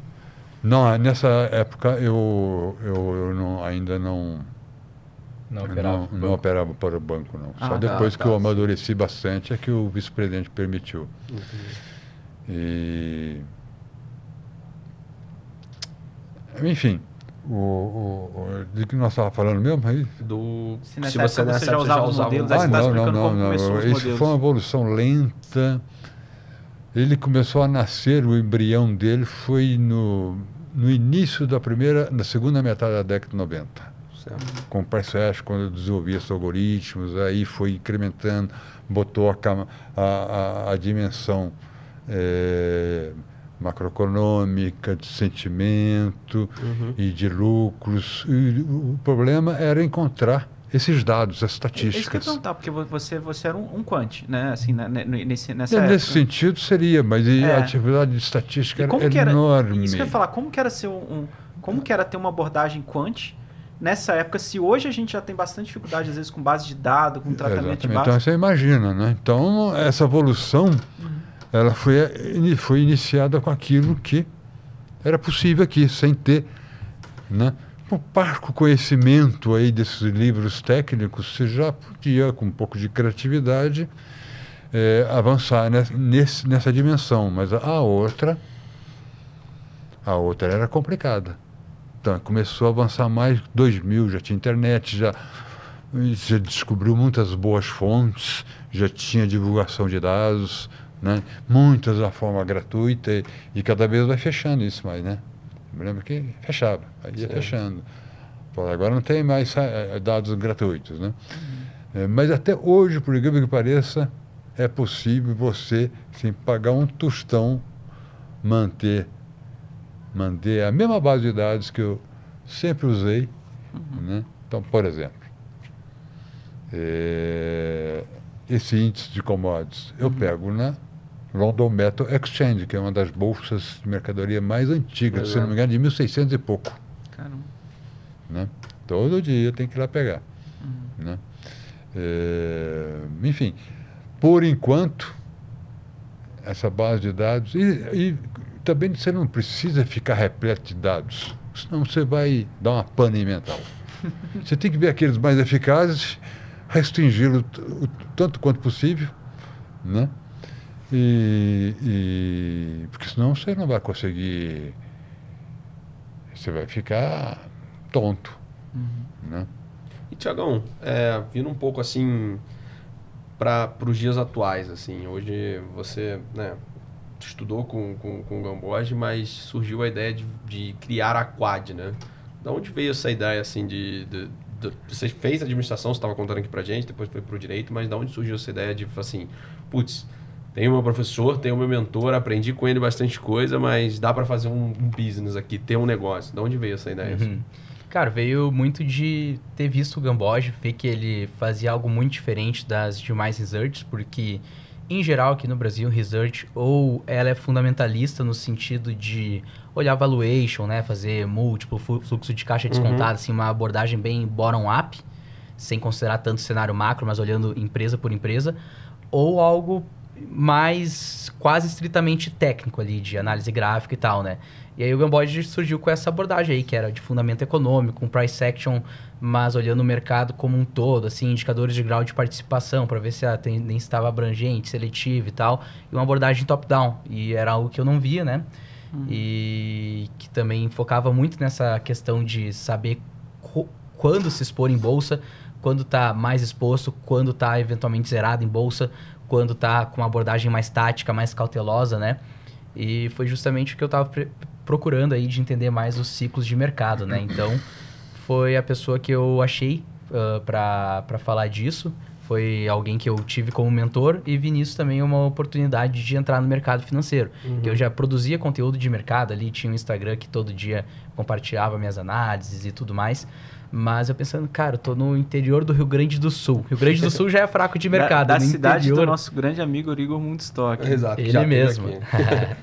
e aí eu pensava, como é que eu vou me inserir no mercado, né? E aí eu pensava, cara, eu vou produzir meu conteúdo, transmitir meu conhecimento aí que vou pelo menos começar e talvez isso abra uma janela de oportunidade, né?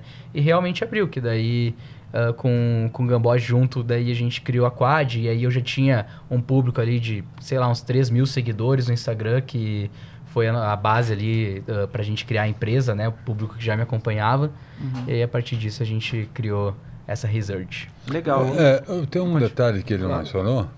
Ele tem um espírito empreendedor. Uhum. Isso é difícil encontrar. Sim, bacana, Sim. bacana. Né? Isso é muito difícil encontrar. Não, com certeza. Novo ainda, né? Então, pô, parabéns, viu, Thiago? Exatamente. Parabéns. Valeu. E, Tiagão, uma coisa que eu sei que você gosta, que a gente compartilha aí de um gosto, é, eu sei que você gosta muito das abordagens do William Neal, do pessoal do Ken Slim, Mark Minervini, é, Momentum, Momentum Trading. É, como que isso apareceu na sua vida? Assim, como que você enxerga hoje dentro do que você opera, não só né, dos modelos do Camboja, assim, mas como que você usa isso é, enfim, como que você usa essa, abordagem, a maneira uhum. Então, uh, comecei a entender um pouco mais de Momentum com o Gamboge, que ele justamente às vezes falava, cara, tu não tem que comprar as ações que mais caíram, tem que comprar justamente as que mais subiram. O mercado não, o mercado não é bobo, tu não é mais inteligente, está caindo demais, provavelmente é porque tem um motivo se ela está underperformando o mercado. Da mesma forma, se certa ação ou certo grupo de ações está outperformando o mercado, provavelmente existe algum motivo, uhum. uh, algum catalisador, alguma narrativa, alguma expectativa, pelo menos, de melhor para aquilo, né? E aí, enfim, a partir do Gambode, assim, eu fui começando a entender o que, que era uh, o momento de focar no que mais subiu e não do que mais caiu necessariamente. E aí, principalmente em 2020, foi um mercado de muito momento, tanto aqui no Brasil quanto no exterior, né? Uh, as ações assim subindo muito, de forma muito consistente. Eu consegui ganhar muita grana uh, em 2020, 2021, no primeiro semestre de 2021. Foi um fluxo muito forte aqui também nas uhum. small caps brasileiras, principalmente, né? E aí eu já operava bastante momento e tal, mas de uma forma um pouco mais sem um método rigoroso, assim. Eu vi assim, cara, o fluxo está em tal setor aqui, essa ação está subindo bem, com bastante volume na compra e tal. Aí eu me posicionava mais nelas, assim, dava bastante certo, mas era sem uma abordagem muito rigorosa. E aí, no iníciozinho de 2021 mesmo, eu fui introduzido ao Minervini, né? O uhum. Mark Minervini.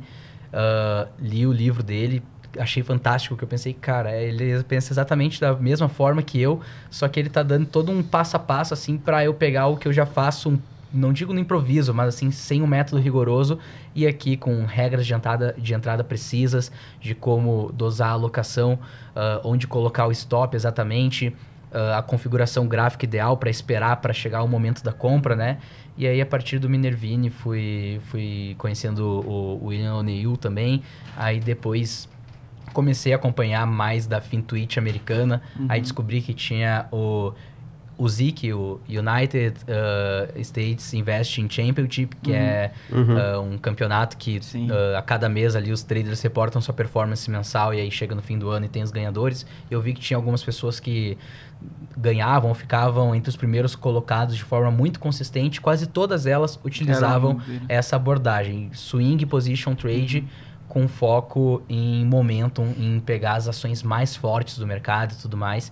Então, cada vez mais eu fui me identificando com isso também, vendo, cara, o que eu já via, o que eu já fazia ah, aqui por conta própria, eu achei outras pessoas que compartilham da mesma visão que eu e que têm resultados robustos, consistentes, e aí fui cada vez me, me aprofundando nessa, nesse tipo de análise, né? Uhum. E é legal, porque é isso que você está falando, até mesmo o pessoal que está de casa, é, é, um- é engraçado que é uma abordagem que é muito interessante, mas ao mesmo tempo, quando você olha, é, vem, algo, vem de algo muito antigo também, né? Que, que constantemente vai funcionando. Você olha, o Jesse Livermore tem um livro que é sensacional, que eu sempre recomendo para todo mundo, que é o é How to Trade in Stocks. Já li. E É. e é interessante, porque o livro é um livro da década, se não me engano, é da, 1900 acho que ele é 39, 1940, alguma coisa assim. E cada capítulo ele vai falando, uma coisa que ele usa abordagem top-down, então ele olha a direção do mercado, depois os setores mais fortes, as ações mais fortes, ele tem o pivô dele de reversão, assim.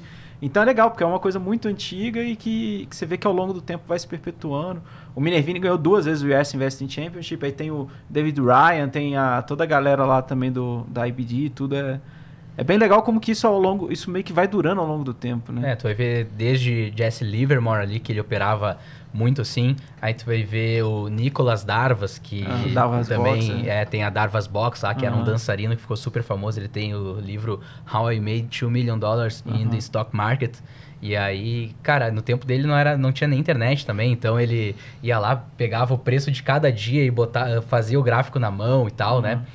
E tu vê que todos eles ah, compravam ações, escolhiam, faziam seu stock picking de uma forma muito muito similar, né? E isso foi evoluindo para o que a gente tem hoje ali do Minervini, ah, do David Ryan mesmo, Mark o Richards, Mark. Hitch, que É. ah, inclusive o Minervini, o Hitch e o David Ryan, eles têm um livro chamado Momentum Masters, que é Aham. fenomenal também, que é com uma série de perguntas que as pessoas mandaram para eles e que Caramba. cada um deles responde É ali. tipo um Market Wizard, só que focado em Exatamente. só- momentos. só- assim. é, o Momento Master é exatamente o Market Wizard só de momento, Uhum. né? Então, cada vez mais eu fui me identificando com essa abordagem pelos meus resultados próprios e por ver também que as pessoas de maior sucesso lá no mercado americano operavam, operavam dessa forma, né? E o mercado americano, especificamente, eu acho que ele é muito favorável a operar dessa forma também. Porque aqui no Brasil, cara, como a gente tem uma restrição de setores para se operar, ah, são poucas ações listadas em bolsa, vai ver ação com liquidez, cara, não chega a dar 250, eu acho, assim, Bem com menos. uma liquidez razo- minimamente razoável, né? E lá nos Estados Unidos é milhares de ações, então, mesmo às vezes no mercado de baixa, tu tem ah, grupos fortes com triggers fortes, né? Então, eu olho, eu gosto de olhar muito para essa parte de triggers também, de narrativa, né? Então, o que eu considero fundamento. Penso, cara, tudo que não é o price action ali, ah, eu considero um pouco fundamento, né? Então, é motivos para uma ação subir, que podem da- daqui a pouco ser narrativas falsas, que não vão se concretizar, mas que para tu que não, não quer casar com a ação, quer fazer algum swing ou position trade, tu pode se aproveitar dessa narrativa enquanto, enquanto ela predomina, né? E, por exemplo, ali no iniciozinho da guerra da Rússia com a Ucrânia, que aí começou a ter um monte de sanções, de sanções para a Rússia, aí não se sabia mais como é que ia ser a oferta global de petróleo, de fertilizantes e tal. Aqui no Brasil, tu tem o quê? Três empresas ali, Enalta, 3R, Petro, Prio, para se posicionar em petróleo. Lá nos Estados Unidos, cara, é centenas de empresas petrolíferas. Certe- eh, empresas de fertilizantes. Aqui tinha E até tem as uma... derivadas, né? Exatamente. Aí é transporte de petróleo, Exato. não sei o quê. Ah, por exemplo, eu, eu consegui surfar essa narrativa aí da guerra da, da, ah, na Ucrânia com a Rússia, comprando empresas de fertilizantes, que, nossa, assim, em dois, em dois três meses elas subiram 100%, 200%, né? E aqui no Brasil tu não tem, o- tu não tem empresas desse setor, É, né? e, até, e até também, se você for seguir, por exemplo, Keynes Linha Risca, é, tem algumas métricas ali que você não consegue capturar aqui, né? Porque o Linha, ele fala que você tem que ter o, é, o crescimento quarto a quarto é de pelo menos 30%, se não me engano. É, o crescimento anual tem que ser 30% pelo menos 5 anos. Às vezes são métricas que você vai passar no filtro, não passa muita coisa por aqui. É, aqui como. Não, ou se passa no filtro, são quatro ações e são é. sempre as mesmas quatro, né? Exatamente. qual é o teu portfólio? Quatro ações. Exatamente. Exato. Então, como o número é muito limitado, acaba aqui ficando muito limitado. Foi uhum. algo que me trouxe para nessa abordagem aí mais de trade momentum, eu comecei a me dedicar exclusivamente ao mercado americano. Até por uhum. questão de foco, que eu via, cara, operando no mercado brasileiro junto e tal, tu não conseguia focar a tua atenção e extrair o melhor possível, né? E aí uh, eu comecei a adotar no mercado brasileiro mais essa abordagem das quatro dimensões e tal, algo que não é de trade, mas sim olhando os ciclos estruturais de médio prazo, né? Uhum. Que é algo que eu já fazia antes também. E nos Estados Unidos aí eu comecei a focar um pouco mais em ficar nessa parte aí de trades de momentum, né? Uhum. É, e, e só para só fechar, porque você falou esse momento, momento e é, é, um tema sempre muito legal. É, e é engraçado, porque assim, às vezes muita gente critica o momentum, é, e, e, eu falei que caiu na prova o negócio, isso aí também caiu na prova, é que quais os motivos que o pessoal critica o momento, e por exemplo, falam que assim, ah, é, quem consegue surfar o momentum, você só tem o lucro porque é, pelo lado do short, mas se você avalia separadamente, tanto só longa quanto só short, com o momento você ainda consegue capturar um retorno no backtest que seja historicamente, historicamente válido. Então, assim, é, né? Por exemplo, o, o próprio Fame French considerava o momento como uma anomalia ali dentro exatamente. do dentro é, do modelo. Mas era a anomalia que mais incomodava. Exa exatamente. Então, é interessante assim como que você vê que o argumento é. do momento ele foi ganhando força ao longo do tempo, né? Sim. Enquanto é. um e... fator, estilo. Não, e, e não falta literatura científica mostrando uh, o momento. Por exemplo, tem, tem livros, artigos científicos que mostram as ações que mais outperformaram nos últimos 12 meses. Se tu pega uma seleção dessa e as que mais underperformaram para entrar uh, long nas que mais performaram, short nas que menos performaram, uhum. tu tem um rendimento maior do que, do que o do SP500, por exemplo, é, né? Eu esqueci o nome do é o Jang, Jangadish, eu não lembro o nome é, eu não, eu não lembro agora exatamente, eu... mas... É, o que não pode é casar com o papel. É, né? até porque o momento... Porque também são as ações que depois... Até porque o momento é passageiro. Essa amostra muda, né? Exato. Ele tem, um, ele tem um horizonte que as ações que mais estão subindo tendem a continuar subindo, mas se vê que no longo prazo, se tu pega o horizonte de 3, de 4 anos, por exemplo, essas ações que subiram muito, elas tendem a underperformar depois do mercado e ter um retorno à média. Então, não é uma abordagem que se tu quer fazer buy and hold, não serve. Agora, se tu quer... um critério de saída né? bem definido. Exatamente. Então, Exatamente. E, ô, Gamboge, já aproveitando esse, esse ponto, de falando de momento, é, bom, o Tiagão falou que aprendeu com, contigo e pô, se você puder falar para a galera, aonde surgiu esse seu interesse assim por, por momento, por essa questão de aceleração de tendência, de comprar ações que estão fortes, de veio lá da análise técnica na quarta-feira aprendendo com seu amigo lá, ou realmente olhando o mercado, vivência de mercado? Veio da física. Perfeito. a matemática explica. Engenheiro pensa em em física, pensa em matemática. É, é, um jeito diferente de olhar. Uhum. Né? O... Onde tem momento, tem força. Perfeito. Tem comprador. Cara, essa explicação não tinha o... Para cada operação tem um, um cara que compra e outro cara que vende. Quem ganha nisso? É quem tem mais convicção. Aquele que tem mais convicção compra é, no preço do tomador, do, do, vendedor. Não importa, eu faço isso, uhum. eu executo isso. Eu aprendi comigo mesmo, porque eu, quando eu quero comprar, eu não. E desde que esteja no início, né? Ah, subiu, agora você quer mais? Ok, manda para dentro. Ele vai mandando. Uhum. Eu opero no médio prazo, isso que não vai fazer a menor diferença para mim. Quer dizer, de pouco, pouca coisa, né? Uhum. Então, isso aí é, nat é, natural na cabeça do engenheiro. Uhum. É física. E é interessante também porque uh, quando tem compradores convictos, por exemplo, num pregão, em dois pregões, uh, e compradores fortes, normalmente eles não conseguem montar a posição nesse, uh, nesse dia, em dois dias, né? uhum. né? Eles precisam, durante semanas, às vezes meses, até conseguir montar a posição ali, quando o cara tem tem bi sob, sob gestão, né?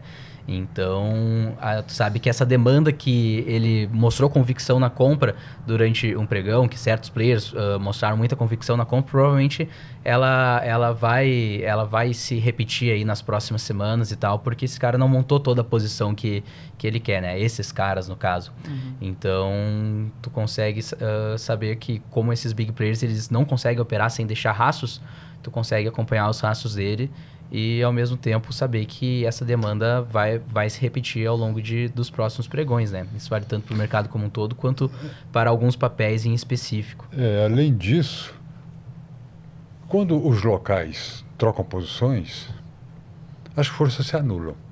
Uhum. O mercado só fica gerando ruído. Mas quando porque quando um comprador é, de médio prazo pode de longo prazo, enfim, de uma semana, duas, três, quatro, ele enxuga o estoque existente. Ele vai enxugando, tem menos papel para comprar, porque está sendo encarteirado. Né? E está comprando com convicção. Né? Se, agora, se tiver na outra ponta um grande também, está com a convicção contrária. Normalmente há, há, um certo embate no uhum. início, mas aquele que tiver mais convicção, Vai por ganhar. alguma razão, qualquer que seja, é, ele vai puxar o mercado. Se realmente essa, essa, essa expectativa desse que conseguiu vencer essa batalha inicial começar a ser chancelada pela realidade, aquele lá, ele tá, o estoque dele está baixo, ele vai ter que entrar né? mudar a mão. Né? Os amadores ainda vão entrar num estágio muito mais adiante. Uhum. Muito mais adiante. Entendi. Né? É. E é uma demanda que uh, uma, uma redução de oferta que tu falou, né? Que ele vai comprando, vai encarteirando e ele não vai vender na semana que, que vem, daqui a duas semanas. Então, tu vai fazendo meio que de uma forma quase permanente uma escassez de oferta desse papel. Porque esses big players, como eles precisam montar a posição ao longo de semanas, de meses, ele não consegue fazer um tradezinho, ah, vou comprar hoje e vender da, daqui a três dias, né? Sim. A menos que fosse, tipo, índice futuro e tal, mas com papéis, e ainda mais quando tu vai uh, se tratar de mid caps, small é, caps, que não são uhum. uh, as grandes blue chips aqui da nossa bolsa, o cara não consegue fazer, fazer esses trades sem, sem deslocar preço. Uhum. Então, ele vai, ele vai encarteirando e ele tá e ele, e ele não opera no curto prazo, né? Então, ele vai secando a oferta de uma forma estrutural do ativo e também daí, aos poucos, vai entrando também outros caras que daí, uh, pessoa física que opera a tendência, e aí, o, uh, e aí vai vendo a tendência entrando e vai comprando junto e tal. E aí quando vê quem tá short já, já chega no seu stop e tal. E assim a tendência, quando vê, vai se retroalimentando cada vez mais, né? Uhum. Pô, é, pode falar, Gambote, perdão. É, um comentário aqui. Eu nunca comprei na fraqueza se o Ibovespa está caindo, eu só, só fico assistindo, eu não vou adivinhar o fundo. Eu só compro na força. Certo. Uhum. Com outros requisitos, né? Perfeito. Com, os outros, com, algum, com algum alinhamento daquelas dimensões. Uhum. Aí sim eu compro na força. Uhum. Nunca compro na fraqueza. Porque eu não sei até quando ela vai perdurar. Uhum. E ela né? pode durar bastante tempo. É, pode durar bastante tempo. E às vezes você nem tem muita certeza porque aquilo está caindo, você não sabe de tudo. Uhum. Você sabe aquilo que está na mídia, é, mas você não, não sabe de tudo. Perfeito. Você vai juntar os pedaços depois, né? Um exemplo foi aquela, aquela explosão lá em 30 de abril de 2008, né? É, com upgrade os uhum. títulos soberanos, né? Uhum. Eu não sabia porque, porque tinha aquela resiliência. Certo. Eu só soube depois do fato. Uhum. Né? E foi uma loucura aquele dia. Euforia danada depois. Hum, interessante. E Gambó, te perguntar, você falou uma coisa que eu acho que pra gente é, é sempre muito importante e é o que você falou, é o, é o desafio, né? O, é. o, mercado ele é, ele é um, um, um, jogo matemático. Assim. Ele é, é uma figura kafkiniana. ele vai, você não vai encontrar ele, uma vez, se você, por exemplo, qual o ritmo mais comum? Samba, por exemplo, vamos uhum. imaginar. Então eu, to, eu sabia dessa samba. na década de 90. Uhum. E o mercado estava tocando samba. O dia que ele mudou para chuta aí um ritmo aí, tango, vai. Eu tropecei, Uhum. porque eu não sabia dançar tango. Então tive que aprender Uhum. a dançar tango. E você vai aprendendo com o tempo os vários ritmos. Né? E esse curso é caro, viu? É. É, exatamente. Até É uma- curso muito caro. a- o, que, o que eu ia te perguntar era justamente Vale o disso. preço de fazer uma faculdade em Harvard. É, o que eu ia te perguntar é justamente disso, que você falou do ruído, né? É, como que hoje você consegue separar é, o que é ruído ou o que não é ruído? Ou como que você enxerga o mercado, ele tem mais ruído, ele tem menos ruído? É, como mais, que isso é na sua cabeça? Mais pelo alinhamento das dimensões. Uhum. O mercado sempre ele ele está cheio de ruído, né? E ações de locais que puxa um pouco e depois sai da posição, aí oferta aquilo que ele enxugou e o mercado fica como o mercado está agora, né? Então, você, por exemplo, vamos pegar o exemplo de hoje. Hoje eu nem sei direito como foi o mercado, porque eu fiquei a tarde toda fora. Eh, e eu saí antes da decisão do Federal Reserve. Lembrando que é dia 20 de março, pessoal. É. Esse episódio está sendo próximo gravado. de 1% de É. alta. Aham, ok. O... Hoje não tem ninguém no comando. Está num trading range, numa congestão. Tá, a pri- a principal mensagem é o seguinte: nem Bull nem, Be- nem o Bear está no comando. É, nós estamos vendo os estrangeiros vender, desde lá, se não me engano, 134 mil. Só que eles estão vendendo convicção. Por quê? Pelo óbvio, o mercado estava caindo. Via nas estatísticas, estrangeiro na ponta de venda e, e caindo. Então, esse é o, é o- é- então os bears estavam no comando, até que encaixotou. Encaixotou e ninguém está no comando. Ele vai sair uma hora desse trading range aí. Né? É, aparentemente, pelo que corre lá fora, né? Que dá uma ajuda, pelo menos. A gente que não ajuda, né? Mas lá pelo menos não está atrapalhando. Pode vir pra, sair para baixo ou para cima. Qualquer dos dois aí eu acho que o upside não é lá grandes coisas, não. Entendi. Não é grandes coisas, mas vale, a- vale eh, treinar a sua musculatura. Não pode ficar parado. É. Tem que estar no ritmo. Exato. É, não, porque se você ficar, se você ganhar e depois achou que ganhou o ano, você não pode deixar isso acontecer, essa complacência. Não, surgiu a oportunidade, você tem que entrar. Certo. Ganhou muito, não importa, esquece. Né, A gente tem a maneira, no início eu tinha esse vício, quando ganhava, achava que aquele dinheiro é fácil, então eu gastava. Então eu comecei a poupar um pouco mais, mais, mais, mais, mais, porque. E, e não perder as oportunidades. É como se aquilo é coisa do passado. O mercado dá um sinal, você tem que entrar. Obrigado. Não pode ficar inativo por completo, não. A não ser que numa situação em que quem, por exemplo, não gosta de operar short, aí você vai ficar inativo. Né? Eu tive minha fase de ser shortador mó, né, com índice futuro, né? Mas eu me desgarrei um pouco disso, tá? Do, do Uhum. dia a dia, Certo. porque eu já não estou na idade de ficar colado em terminal. né? É, eu ia até te perguntar como que você lida com seus próprios vieses, assim, né? Porque você é um cara. Ah, isso aí você tem que se autoconhecer. Você vai aprendendo contigo mesmo. Você tem, e tem que ser franco contigo mesmo. Uhum. Eu tenho essa. eh, Eu tenho essa. Você tem que reconhecer seus erros, primeira coisa. Eu não errei, errei mesmo aqui. E, e, e tomar realmente consciência. Não é só reconhecer e depois esquecer. É nunca mais esquecer. Né? Você vai cometer outros erros também. Né? O, o, é assim que se combate. Fazendo uma auto, autopsicanálise. Você tem, que conhecer, qual- você tem que conhecer quais são os seus talentos e as suas deficiências. Se concentra nos seus talentos. Aí vem aquele negócio de vantagem competitiva. Você tem vantagem competitiva? Você tem talento para ganhar negócio? Ok, então você concentra nesse ramo que você vai ganhar dinheiro. Você não tem? Ou então demora muito a amadurecer, por exemplo, no mercado da Índia. Eu teria que mudar lá, viver lá, conhecer o dinheiro, conhecer, ter alguns contatos. Eu não vou fazer isso. Certo. Então não tem vantagem competi- competitiva, então esqueça. E como pode, assim, você falou bastante do, do método de vocês que mapeia bastante o risco. É, o que, é risco para vocês? É simplesmente perder dinheiro. Certo? Não é volatilidade, não. Não? Não tem medo de volatilidade, não. Aliás, volatil- né? volatilidade precede as reversões, geralmente, né? Uhum. Tá certo? É, é um sinal ruim para quem está na ponta ainda em- predominando.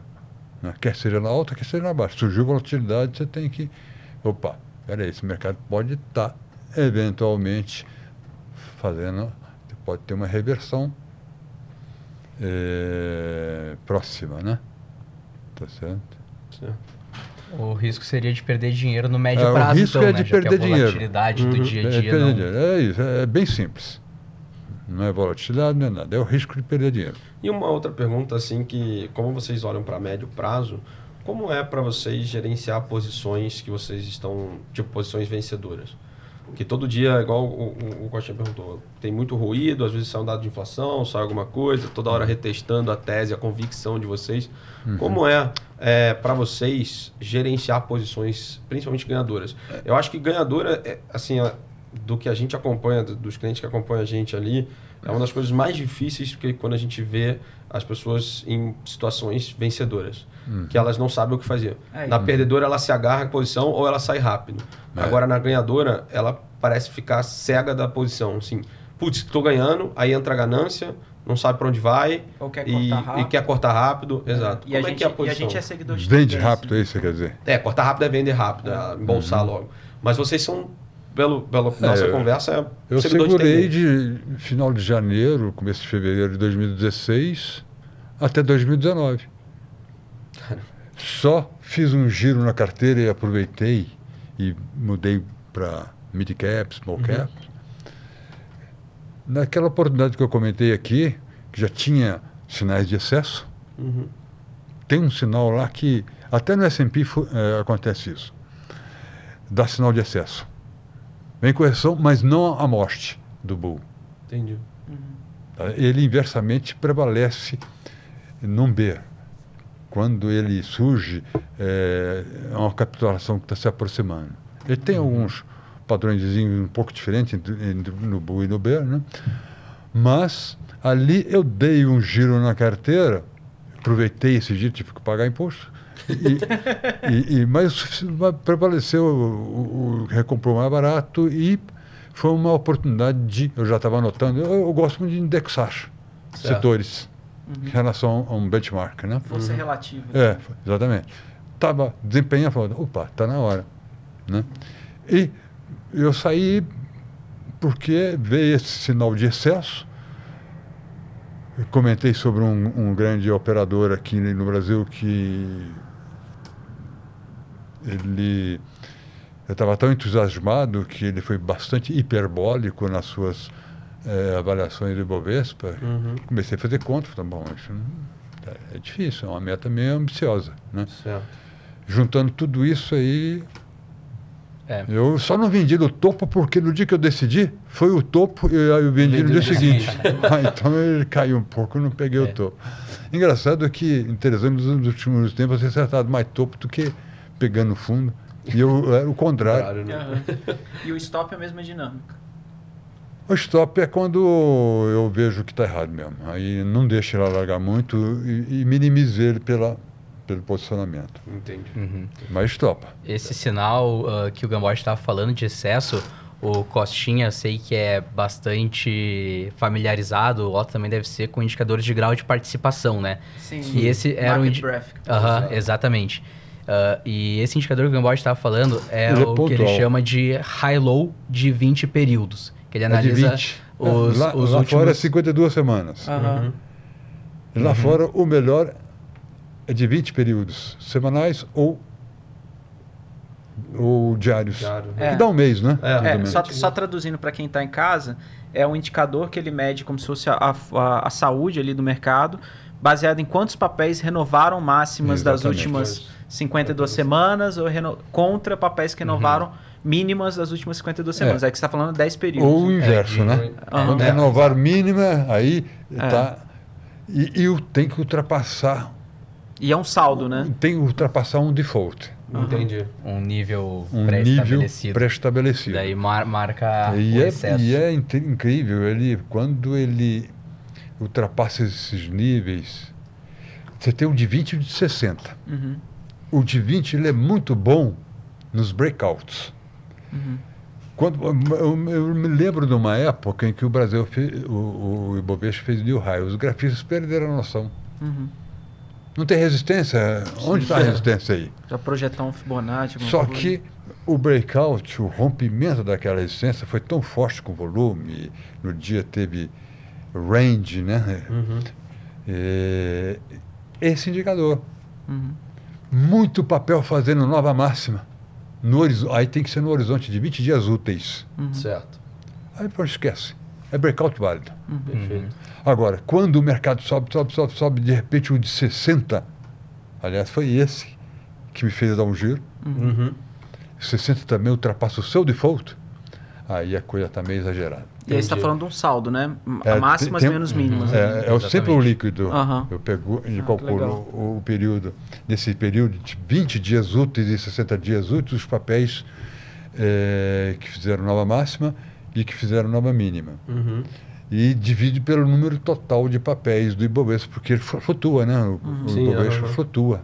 Então, já no S&P, hoje são 503, se, se cair um dia para 500, são 500 empresas. É, exato. Mas não é, né? Ali você não precisa é, entrar nesse detalhezinho, mas aqui é necessário para você comparar com o passado, né? Exato. é. Já foi Uhum. 92, 86. É, é fantástico isso aí.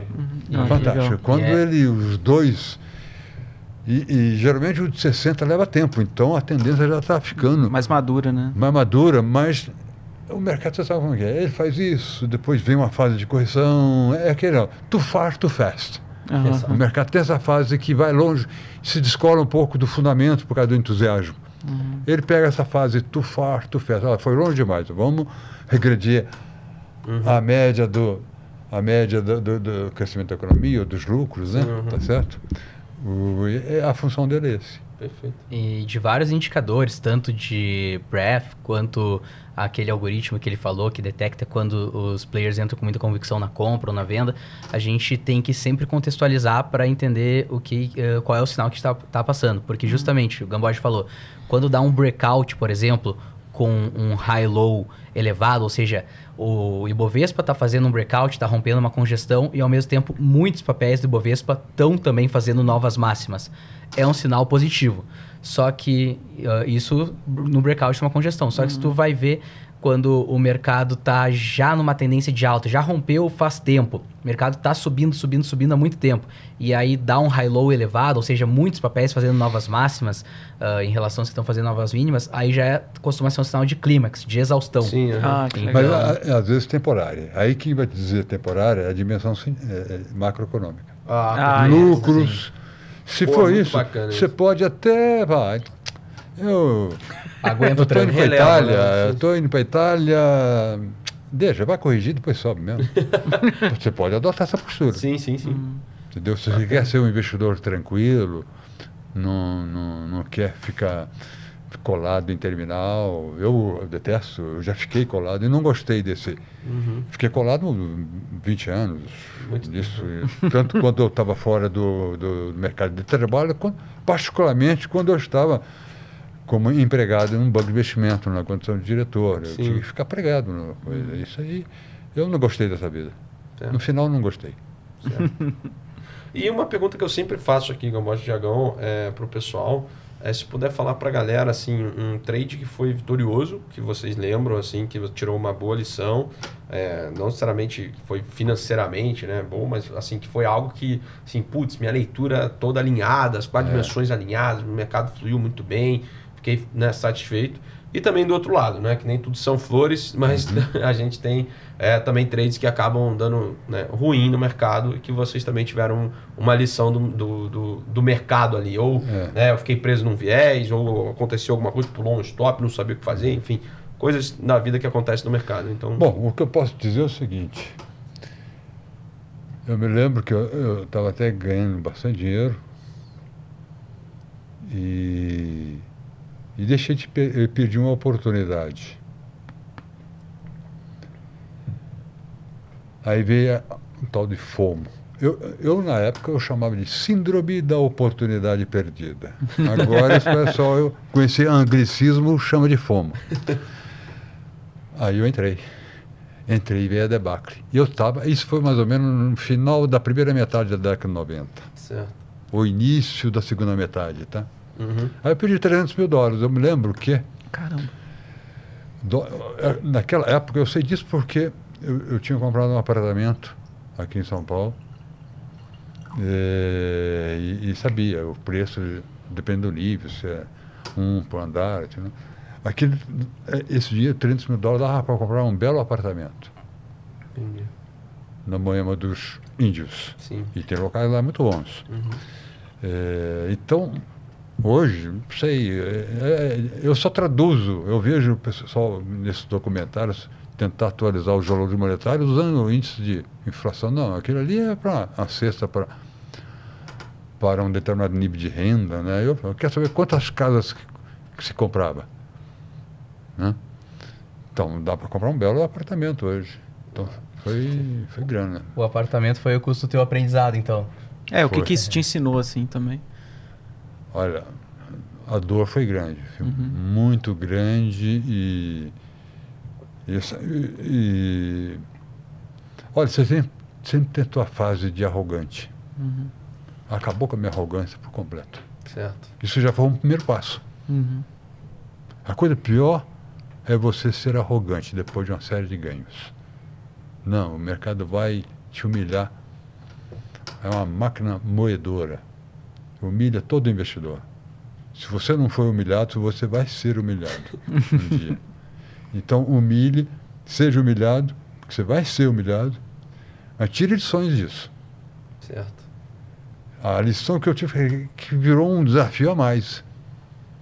Porque, lembre-se, final da década de 90, no final da primeira metade, ou início da segunda metade, não me lembro bem, acho que foi mais para o final da primeira metade, da década de 90. Eh, não tinha internet aqui, né? Uhum. Então o desafio era muito mais. eh, muito maior, porque você não tinha literatura. Então eu era um portador de livros assim.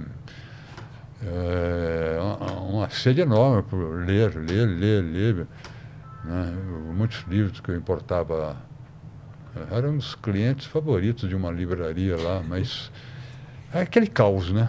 Naquela época era um caos a literatura. Cada um abordava de um jeito, um ângulo. E um trade assim que deu errado? Olha, assim? que, não, que deu errado. ah, desculpa, E- que deu certo, perdão. Olha, foi muitos, viu? Foi muitos. Tem trades espetaculares, assim, no short, no long. Eu fiquei Um que te vendido. marcou. Hã? Um que te marcou. Olha, muitos marcaram, tá? Mas, mas ah, o, o que você tem que aprender é não achar que você é o rei da cocada. Bote sempre uma dose de, como diz o Na- Nassim Taleb, Uhum. do acaso. Sempre tem, seja humilde, é que as condições. Ah, teve alguma coisa que talvez você nem saiba que realmente também contribuiu para isso. né? Uma vez eu fiquei short e fui para a fazenda, fiquei três meses, só consultava no celular. A B3 tinha um, um 0800, contava a cotação futura, via na parte da manhã, via na parte da tarde, desligava e deixava correr. Ligava o corretor, naquela época não tinha home bank. O, o, o, o- ele falou, rola para mim aí. Tinha um corretor muito confiável e velho conhecido. Pode rolar, vai rolar. E, e, e zerei no dia que fez mínima. Por uma sorte. Eu simplesmente dividi o topo do mercado por, por dois. Ou seja, o mercado caiu bastante, hein? Por dois. Não, mas eu não vendi lá no topo, hein? Eu peguei um, um rebaldo grande. Uhum. Foi nesse rebaldo grande que eu vendi e ainda assim caiu muito. Foi um sofrimento para quem estava comprado. Né? E, para ser franco, agora nem me lembro mais o, o- qual foi a razão que eu vendi, viu? Não me lembro mais. E zerei no dia da mínima, aí vem aquele barulho. Uhum. eu estava complacente, esqueci até que eu tinha fixado essa metade. Não que eu acreditava muito naquilo. À tarde eu estava diante do terminal, aí de repente eu acordei. O mercado já estava começando a reagir. Fez a mínima. Uhum. Acordei e falei, peraí, eu tinha feito uma conta lá, metade, nós estamos na metade. E o que eu faço? A primeira reação minha, eu não faço nada, continuo olhando. Mas chegou na parte da tarde, o BDS, no índice futuro, começou a abrir. E a coisa começou a ganhar uma eletricidade, o índice futuro. Eu, a minha reação foi zero, zero a mercado. Tudo, zero tudo a mercado, o meu short. Paga o preço do, do, do vendedor. Zero. Quer dizer, paga o preço, né? Eu estava vendido. Do comprador. Eu estava comprando. Mas é isso mesmo. É. Sim, é, paga o preço do vendedor. Hum. Não, não, não regateia. Eu quero eu deixei para o cartão. Quero que você zere em 10 minutos. Não mais do que isso. Porque aí veio aquela sensação, aquele barulho lá do. É, foi como se eu, tava, eu estivesse num pregão de viva voz. Uhum. Esse, porque o short é muito difícil. Então eu digo que é, esse foi o trade mais brilhante, porque foi no short. No long é muito mais fácil. Uhum. Um short que eu pedi, porque eu estava cansado, podia ter ganhado uma fortuna, foi que esse modelo mesmo indicou a venda quase que no topo do crash de 2008. Eu vi aquilo e falou, não, esse, esse mercado... Eu, eu até dei uma shortada em agosto e uhum. parei. Esse mercado está muito resiliente não vou shortar, não. Eu vou descansar e viajei, tudo bem. Né? Se eu tivesse comprado uma putzinha fora do dinheiro ali, podíamos ficar por 100, por 50, tranquilo. Porque foi uma velocidade, a coisa. Né? Foi Sim. na perpendicular. Né? Essa foi a grande oportunidade. Se eu pudesse, se eu pegasse, eu tenho uma, uma, uma fatia que eu uso. Uma fatia que é de previdência, a outra que se eu pegasse 1% dessa que está com liquidez imediata, pô, teria dobrado. Caramba. Teria dobrado. E, e essa eu perdi. Mas também, você tem que saber, perdeu, perdeu, isso, e tem que deixar para o passado, esquece isso. Né? Uhum. Mas se antes eu tinha um, queria gostar de, eu gostar de operar short também na ponta de compra. Hoje eu me contento a ser um, um long. Uhum. Mas um long assim que não sou um, ou seja, comprar, né, para quem uhum. Sabe o que isso significa, né? Mas não sou buy and hold. É um long tático. Jamais fui um buy and hold. Jamais. A primeira experiência que eu fiz, eu vou fazer, eu vou fazer um experimento buy and hold. Também não foi uma experiência muito adequada, não. Eu comprei uma, uma empresa de médio porte uhum. e fiquei, deixei. Eu medi as coisas em dólares na época. Uhum. Quando fui vender, cinco anos depois, que eu fiz uma limpeza geral, vendi por 150 dólares. Foi coisa pequena, só para testar, porque eu já não gostava muito. Vou botar 200 anos nessa coisinha aí, abriu o capital, vamos ver que bicho dá. Deixa cinco anos. Ou mais. Aí eu vendi. Quer dizer, foi a quantia irrisória. Uhum. Porque não ia fazer experimento com uma quantia mais significativa. Porque eu não tenho esse perfil. Certo. Esse, esse viés do conservadorismo de se manter, de se agarrar uma ideia, não, não é comigo. Entendi. E você, Tiagão? Cara, aqui no mercado brasileiro tem dois trades que me marcaram bastante do lado negativo CVC, que eu tinha comprado lá em 2019. E vi todo o desenrolar ali do, de 2020, do início de 2020, acompanhando o Gamboge ainda. E eu decidi, eu não vou zerar isso. Vou só, vou só diminuir. E por sorte eu comprei puts de Bova 11 que, poxa, explodiram de preço daí e compensaram. Mas na CVC, que eu mantive boa parte da posição comprada, eu tomei, tomei um tufo. E vendo ali, tipo, tá chegando Covid e vai, e vai fechar aeroporto e tal. E eu pensando, ah, cara, já já tô comprado aqui, já, já tá caindo, vou segurar e cada vez mais caía, caía, caía, né? E foi, foi algo que foi só uma bola de neve, só que a bola de neve normalmente cresce, foi uma bola o contrário que cada vez diminuía mais, né? Sim, uhum. Então foi algo que eu, que eu aprendi. Hoje eu sou muito mão de alface com prejuízo, assim, tipo, cara, eu não, eu, eu não tenho dó nenhuma de estopar se a posição, e eu foco muito em time, né? Então, se eu compro ali e a posição já não começa a andar quase que imediatamente, assim, ao meu, meu, meu momento de compra, eu estopo, às vezes até no 0 a 0 sem, sem nem bater meu stop loss, não começa a andar. Eu aguardo um momento ali para me posicionar de novo, que eu acho que a partir dali o ativo vai andar, né? Uhum. Mas então CVC foi uma das maiores trolhas aí que, que eu tomei. Por sorte, e... tinha aquelas putinhas de Bova que compensaram. E na ponta contrária aí. Que... Cara, na ponta long teve um. Na ponta comprada. É, na, na, na, na vitoriosa, né? Desculpa, na, uh -huh, é, pode ser long. Uh -huh. é. Na, é, esse aí eu tava long também. na, na ponta vitoriosa, uh, um trade em Cash 3, a Melius, uhum. que fez o IPO ali em 2020 ou 2021. E, cara, logo desde o início do IPO começou a entrar muito fluxo, uhum. muito momentum. Ela era, Exato. assim, ó, a, eu acho que disparada a ação mais forte da bolsa. Tava um fluxo todo nas small caps mas a Cash 3, assim, tava muito, muito, muito forte, né? E aí eu me posicionei nela, não comprei exatamente no fundo, até porque o fundo foi praticamente no IPO, assim, mas uh, ali quando a tendência de alta estava começando a se desenvolver. E, cara, foi muito bom que eu, né, nesse caso, não fui mão de alface, que às vezes eu era mão de alface com lucro também, putz, já, já ganhei 40%, 50%, daqui a pouco eu vou vender. E ela subiu de preço, multiplicou e multiplicou, e permaneci comprado e consegui zerar no dia que fez topo que eu tava. Que eu pensei, cara, eu vou zerar quando realmente der um sinal de venda. E foi. Uh, eu lembro certinho o dia que ela fez topo, ela abriu com gap de alta. Ela tava muito forte, abrindo com vários gap de alta. Mas ela abriu na máxima e fechou na mínima, engolfando o candle anterior. E foi com. Foi com o maior volume de venda que tinha tido, acho que desde o IPO, sabe? Então, tipo, foi uma red flag. O ativo já estava subindo há muito tempo, com muita força.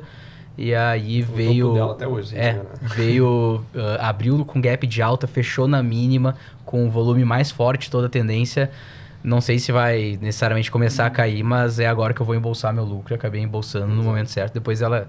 Cara, até hoje eu acho. Eu não, não tô mais acompanhando o papel, é. mas até hoje eu acho que ela tá caindo, assim, deve estar tá com um drawdown de uns 90% aí do topo. Ah, tá. Isso aí foi na época, acho que mais ou menos 60 e poucos reais, depois o papel desdobrou. É, teve vários uh, desdobramentos. Boa. E tanto o Gamboge quanto o Thiago, a gente sempre faz uma pergunta no final do programa, que é o pessoal sempre quer saber de indicações. E aí a gente faz uma brincadeira de você falar um livro, uma música e um filme. Só que hoje em dia a gente já abriu porque é, é, às vezes é muito legal, porque o pessoal indica mais de uma coisa.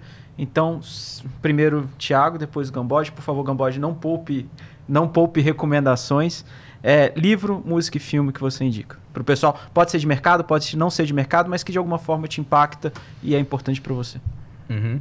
Livro, vamos aproveitar que estamos falando de mercado. Uh, não vou sugerir o do Gamboge, senão seria muito clubista.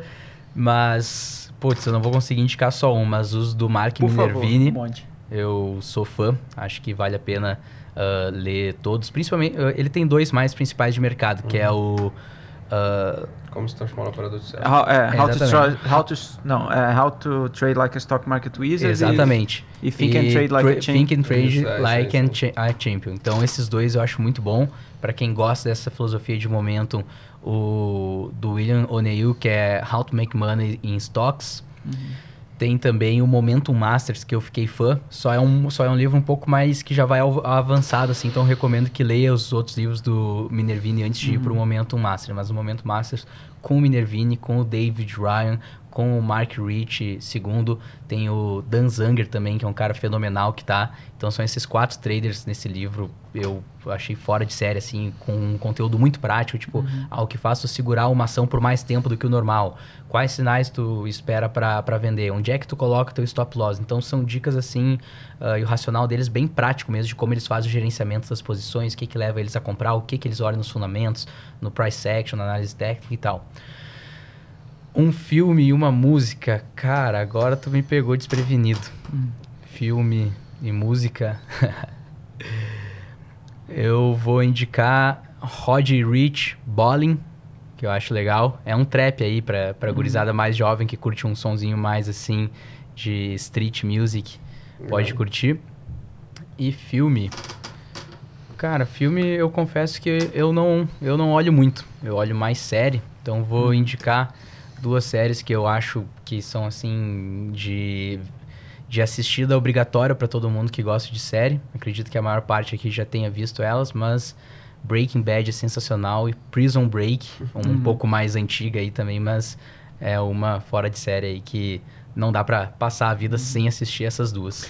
Boa. E você, Gamboge? É, livros que te impactaram de alguma forma, que você acha que são importantes? Pode ser de mercado, sem ser de mercado? é? Tá. Ou que tem a ver com a sua Tá abordagem bom, também? de mercado. Uhum. Mark Twizzard. Boa. Sim. Perfeito. Esse aí tem que ler. Uhum. No mercado, conheça a história. Eu leio sempre que. E, e tem que ter. Pesquisa a, a- referência de quem escreveu. Certo. A formação, Uhum. de onde ele veio, isso né? pode ser um picareta. Sim. Livro de história de protagonistas, de personagens protagonistas nos séculos passados e pode ser atual. É, por exemplo, os Rothschild. Uhum. Tem um livro fantástico aí que o autor é de Harvard é, e, e teve acesso, a família concedeu acesso às cartas dos cinco irmãos. né? Você, vai, você vai conhecer muito as circunstâncias históricas. Então, quando você começar a ler algo sobre aquele século, esse protagonista estava presente sempre. Uhum. Aí você entende melhor as coisas, começa a unir, porque toda história contada geralmente tem a lacuna da parte econômica. Sim. Né? Tem a parte, da, a, a parte. Catarina I, eu li, eu li vários livros sobre a Rússia. Né? Eh, da Rainha Vitória, Elizabeth I. Então, eu adoro ler livros de história, mas de protagonistas. só Uhum. um livro Brasil. Eu recomendo ler sobre o Barão de Mauá, aquela, aquela biografia que tem dele, do Barão de Mauá, que depois se tornou Visconde, né? Uhum. Tá certo? É, leia a história, senão você corre o risco de repeti-la. O- música, olha, eu, tem tanta coisa boa aí, mas eu, eu não curto as músicas atuais. Uhum. David Bowie, por exemplo. Sim. Boa. E filme que você gosta? Olha, eu era um cinéfalo quando eu estudava no ITA. Tinha um cineminha lá que só passava cinearte de arte. Eu frequentava, eu frequentava muito cinema, mas eu tenho Netflix, mas não só minha esposa aqui que usufrui. Eu não tenho mais tempo, eu prefiro ler um livro do que assistir um filme Certo. hoje. Mas tem muitos filmes bons aí. Eu assisti um clássico, Casablanca. Boa. Boa. Perfeito. Eu, eu adoro o, o- aquele Boga. Além do que ele era um excelente enxadrista, sabia? Não sabia. Quem? O Boga, como é que era? Ah, O- tá. O... Que fazia. Ele teve até uma onda nos Estados Unidos, faziam é, estudos sobre ele. Humphrey Bogart, Ah, tá. que in- interessantemente ele era um excelente enxadrista. Ele devia ter um rate hoje de. Eu chuto, pelo que eu já vi umas partidas dele, a mais de 2 mil. Caramba. Partida aí. que ele jogava muito bem. E ele representa muito a época. Muito a época, né? Uhum. Da década de 30, 40. né? Perfil que hoje não tem nada a ver. Totalmente diferente. Depois dessa reviravolta de, de costumes, de, Uhum. A não tem nada a ver. Ele se daria muito mal nos dias atuais. né? Tem mais outra coisa? Não, é isso aí. A não ser que tu queira recomendar mais. Se você quiser recomendar mais, vai recomendando. A gente é seu aluno aqui. Ah, É. eu, eu, eu leria também, além desse que eu falei, a história de 29 do, de um economista famoso, mas que já se faleceu, é, é John Galbraith. Uhum. Certo. É, ele conta em detalhes o que aconteceu em 29. esse, esse desse trader esse, se ilustra bastante esse, esse trader da década de 30 aí, Do Jesse Livermore? Jesse Livermore? Just Livermore, Uhum. né? Isso vale a pena ler. Né? Mas se fosse para escolher um, é Mark Twizzard. Show de bola. Mais uma. Tem mais de um volume, né? Sim, Tem, é, tem tem, o, tem o Market Quatro, né? Wizards, novo Market Wizards, Hedge Fund Market Wizards, Unknown Market Wizards e o Stock Market Wizards que eu comprei na Amazon, mas é, me taxaram e eu perdi o livro. Não chegou até hoje lá em casa. Eu li só os, os, os dois primeiros volumes. É, tá? que tem o Larry, Larry Heat, o, Ah, o tem umas lendas da década de 80 ali. Paul né? Tudor Jones, Jones, né? É, Paul Tudor Jones. Seikoita, Ed Seikoita, Richard Tem Dennis. um que ganhou três vezes campeonato aí, Mark Schwartz, uma coisa assim. Aham, aham. E ele tem até um livro que depois escreveu, Pete Bulls. Pitbull, É, aham. tá certo. É, mas de de todos esses aí, obviamente, para a plateia aí, que está mais interessada em, em ver como atuam os vencedores, Uhum. né? Uhum. Esse é o livro para. Boa. E Thiago e Gamboja, então, para a gente fechar, é, para a galera que quiser conhecer mais o trabalho de vocês, quiser conhecer mais os conteúdos que vocês fazem, é, como que essas pessoas podem, te achar, podem achar vocês Aí, hoje? eu, eu deixo a palavra para o Thiago. Então a gente tem o canal do YouTube que é Quad Financial, o Instagram que é arroba Quad Financial também, financial, e Quad é Q-U-A-D. E eu e o Gamboge também estamos direto no Twitter. Eu, Thiago B. Friedrich e o Gamboge Jarbas Underline Gamboge. Então podem nos acompanhar por lá que a gente tá, tá sempre nas redes, principalmente no Insta e no Twitter, trazendo conteúdos aí sobre, sobre mercado e nossas análises. Boa. Bom, que aula, hein, Coxinha? Pô, que aula, cara. Hoje que acho que aula, também que mais legal. que chegamos próximo aí do, do recorde. Nem vi passar. Exatamente, é legal, né? Porque assim, eu, eu não sei se vocês já participaram, mas eu nunca tinha visto vocês falando em podcast. Eu também então, não, mano. Pô, foi, uma- foi uma verdadeira aula, a gente gosta bastante. Obrigado por ter disponibilizado o tempo de vocês, Thiago, Gamboja. Eu sei que o tempo de vocês aqui é, é valioso, mas, pô, pra gente foi muito legal, a gente gostou muito da conversa. E é, a gente. Todo episódio que a gente faz, e não é egocentrismo, não, mas todo episódio que a gente faz, a gente ouve depois do episódio. Exato. Porque, pô, a gente teve a conversa, aí a gente ouve de novo pra fixar. E, e esse é um episódio que com certeza a gente vai ouvir várias e várias vezes. E, então, poxa, obrigado, obrigado de coração. É, eu que agradeço a oportunidade aí de conversar com vocês aí. Já tinha ouvido falar de vocês, né? já assisti vídeos de vocês, né? e não fazia ideia que um dia estaria aqui. legal. Que bom, é isso obrigado. aí. Eu agradeço também ao Otto, ao Lucas. Acompanho vocês há tempos também no Twitter, principalmente o Lucas. O Otto começou a ser mais ativo agora, né, Exato, Otto? Vamos é. se ativar A no gente tá Twitter dando- a gente tá- tá tô tentando, tô tentando, tô tentando. Mas o Costinha, nossa, acho que fa- faz algum tempo já que a gente se, se acompanha, eu curto muito os conteúdos de vocês. Vejo que a gente, principalmente com o Costinha, tem uma abordagem bastante similar ali de algumas referências quanto a momentum, price action e tal. Então é um prazer enorme estar podendo compartilhar aqui esse momento aí com vocês e aprender um pouco mais aí com vocês, com o Messi Gamboge também. Boa. Boa.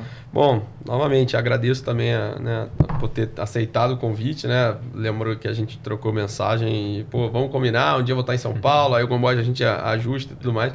Perfeito, que bom que deu certo. Foi meu presente de aniversário. Exato, Coxinha. Espero que você tenha gostado, viu?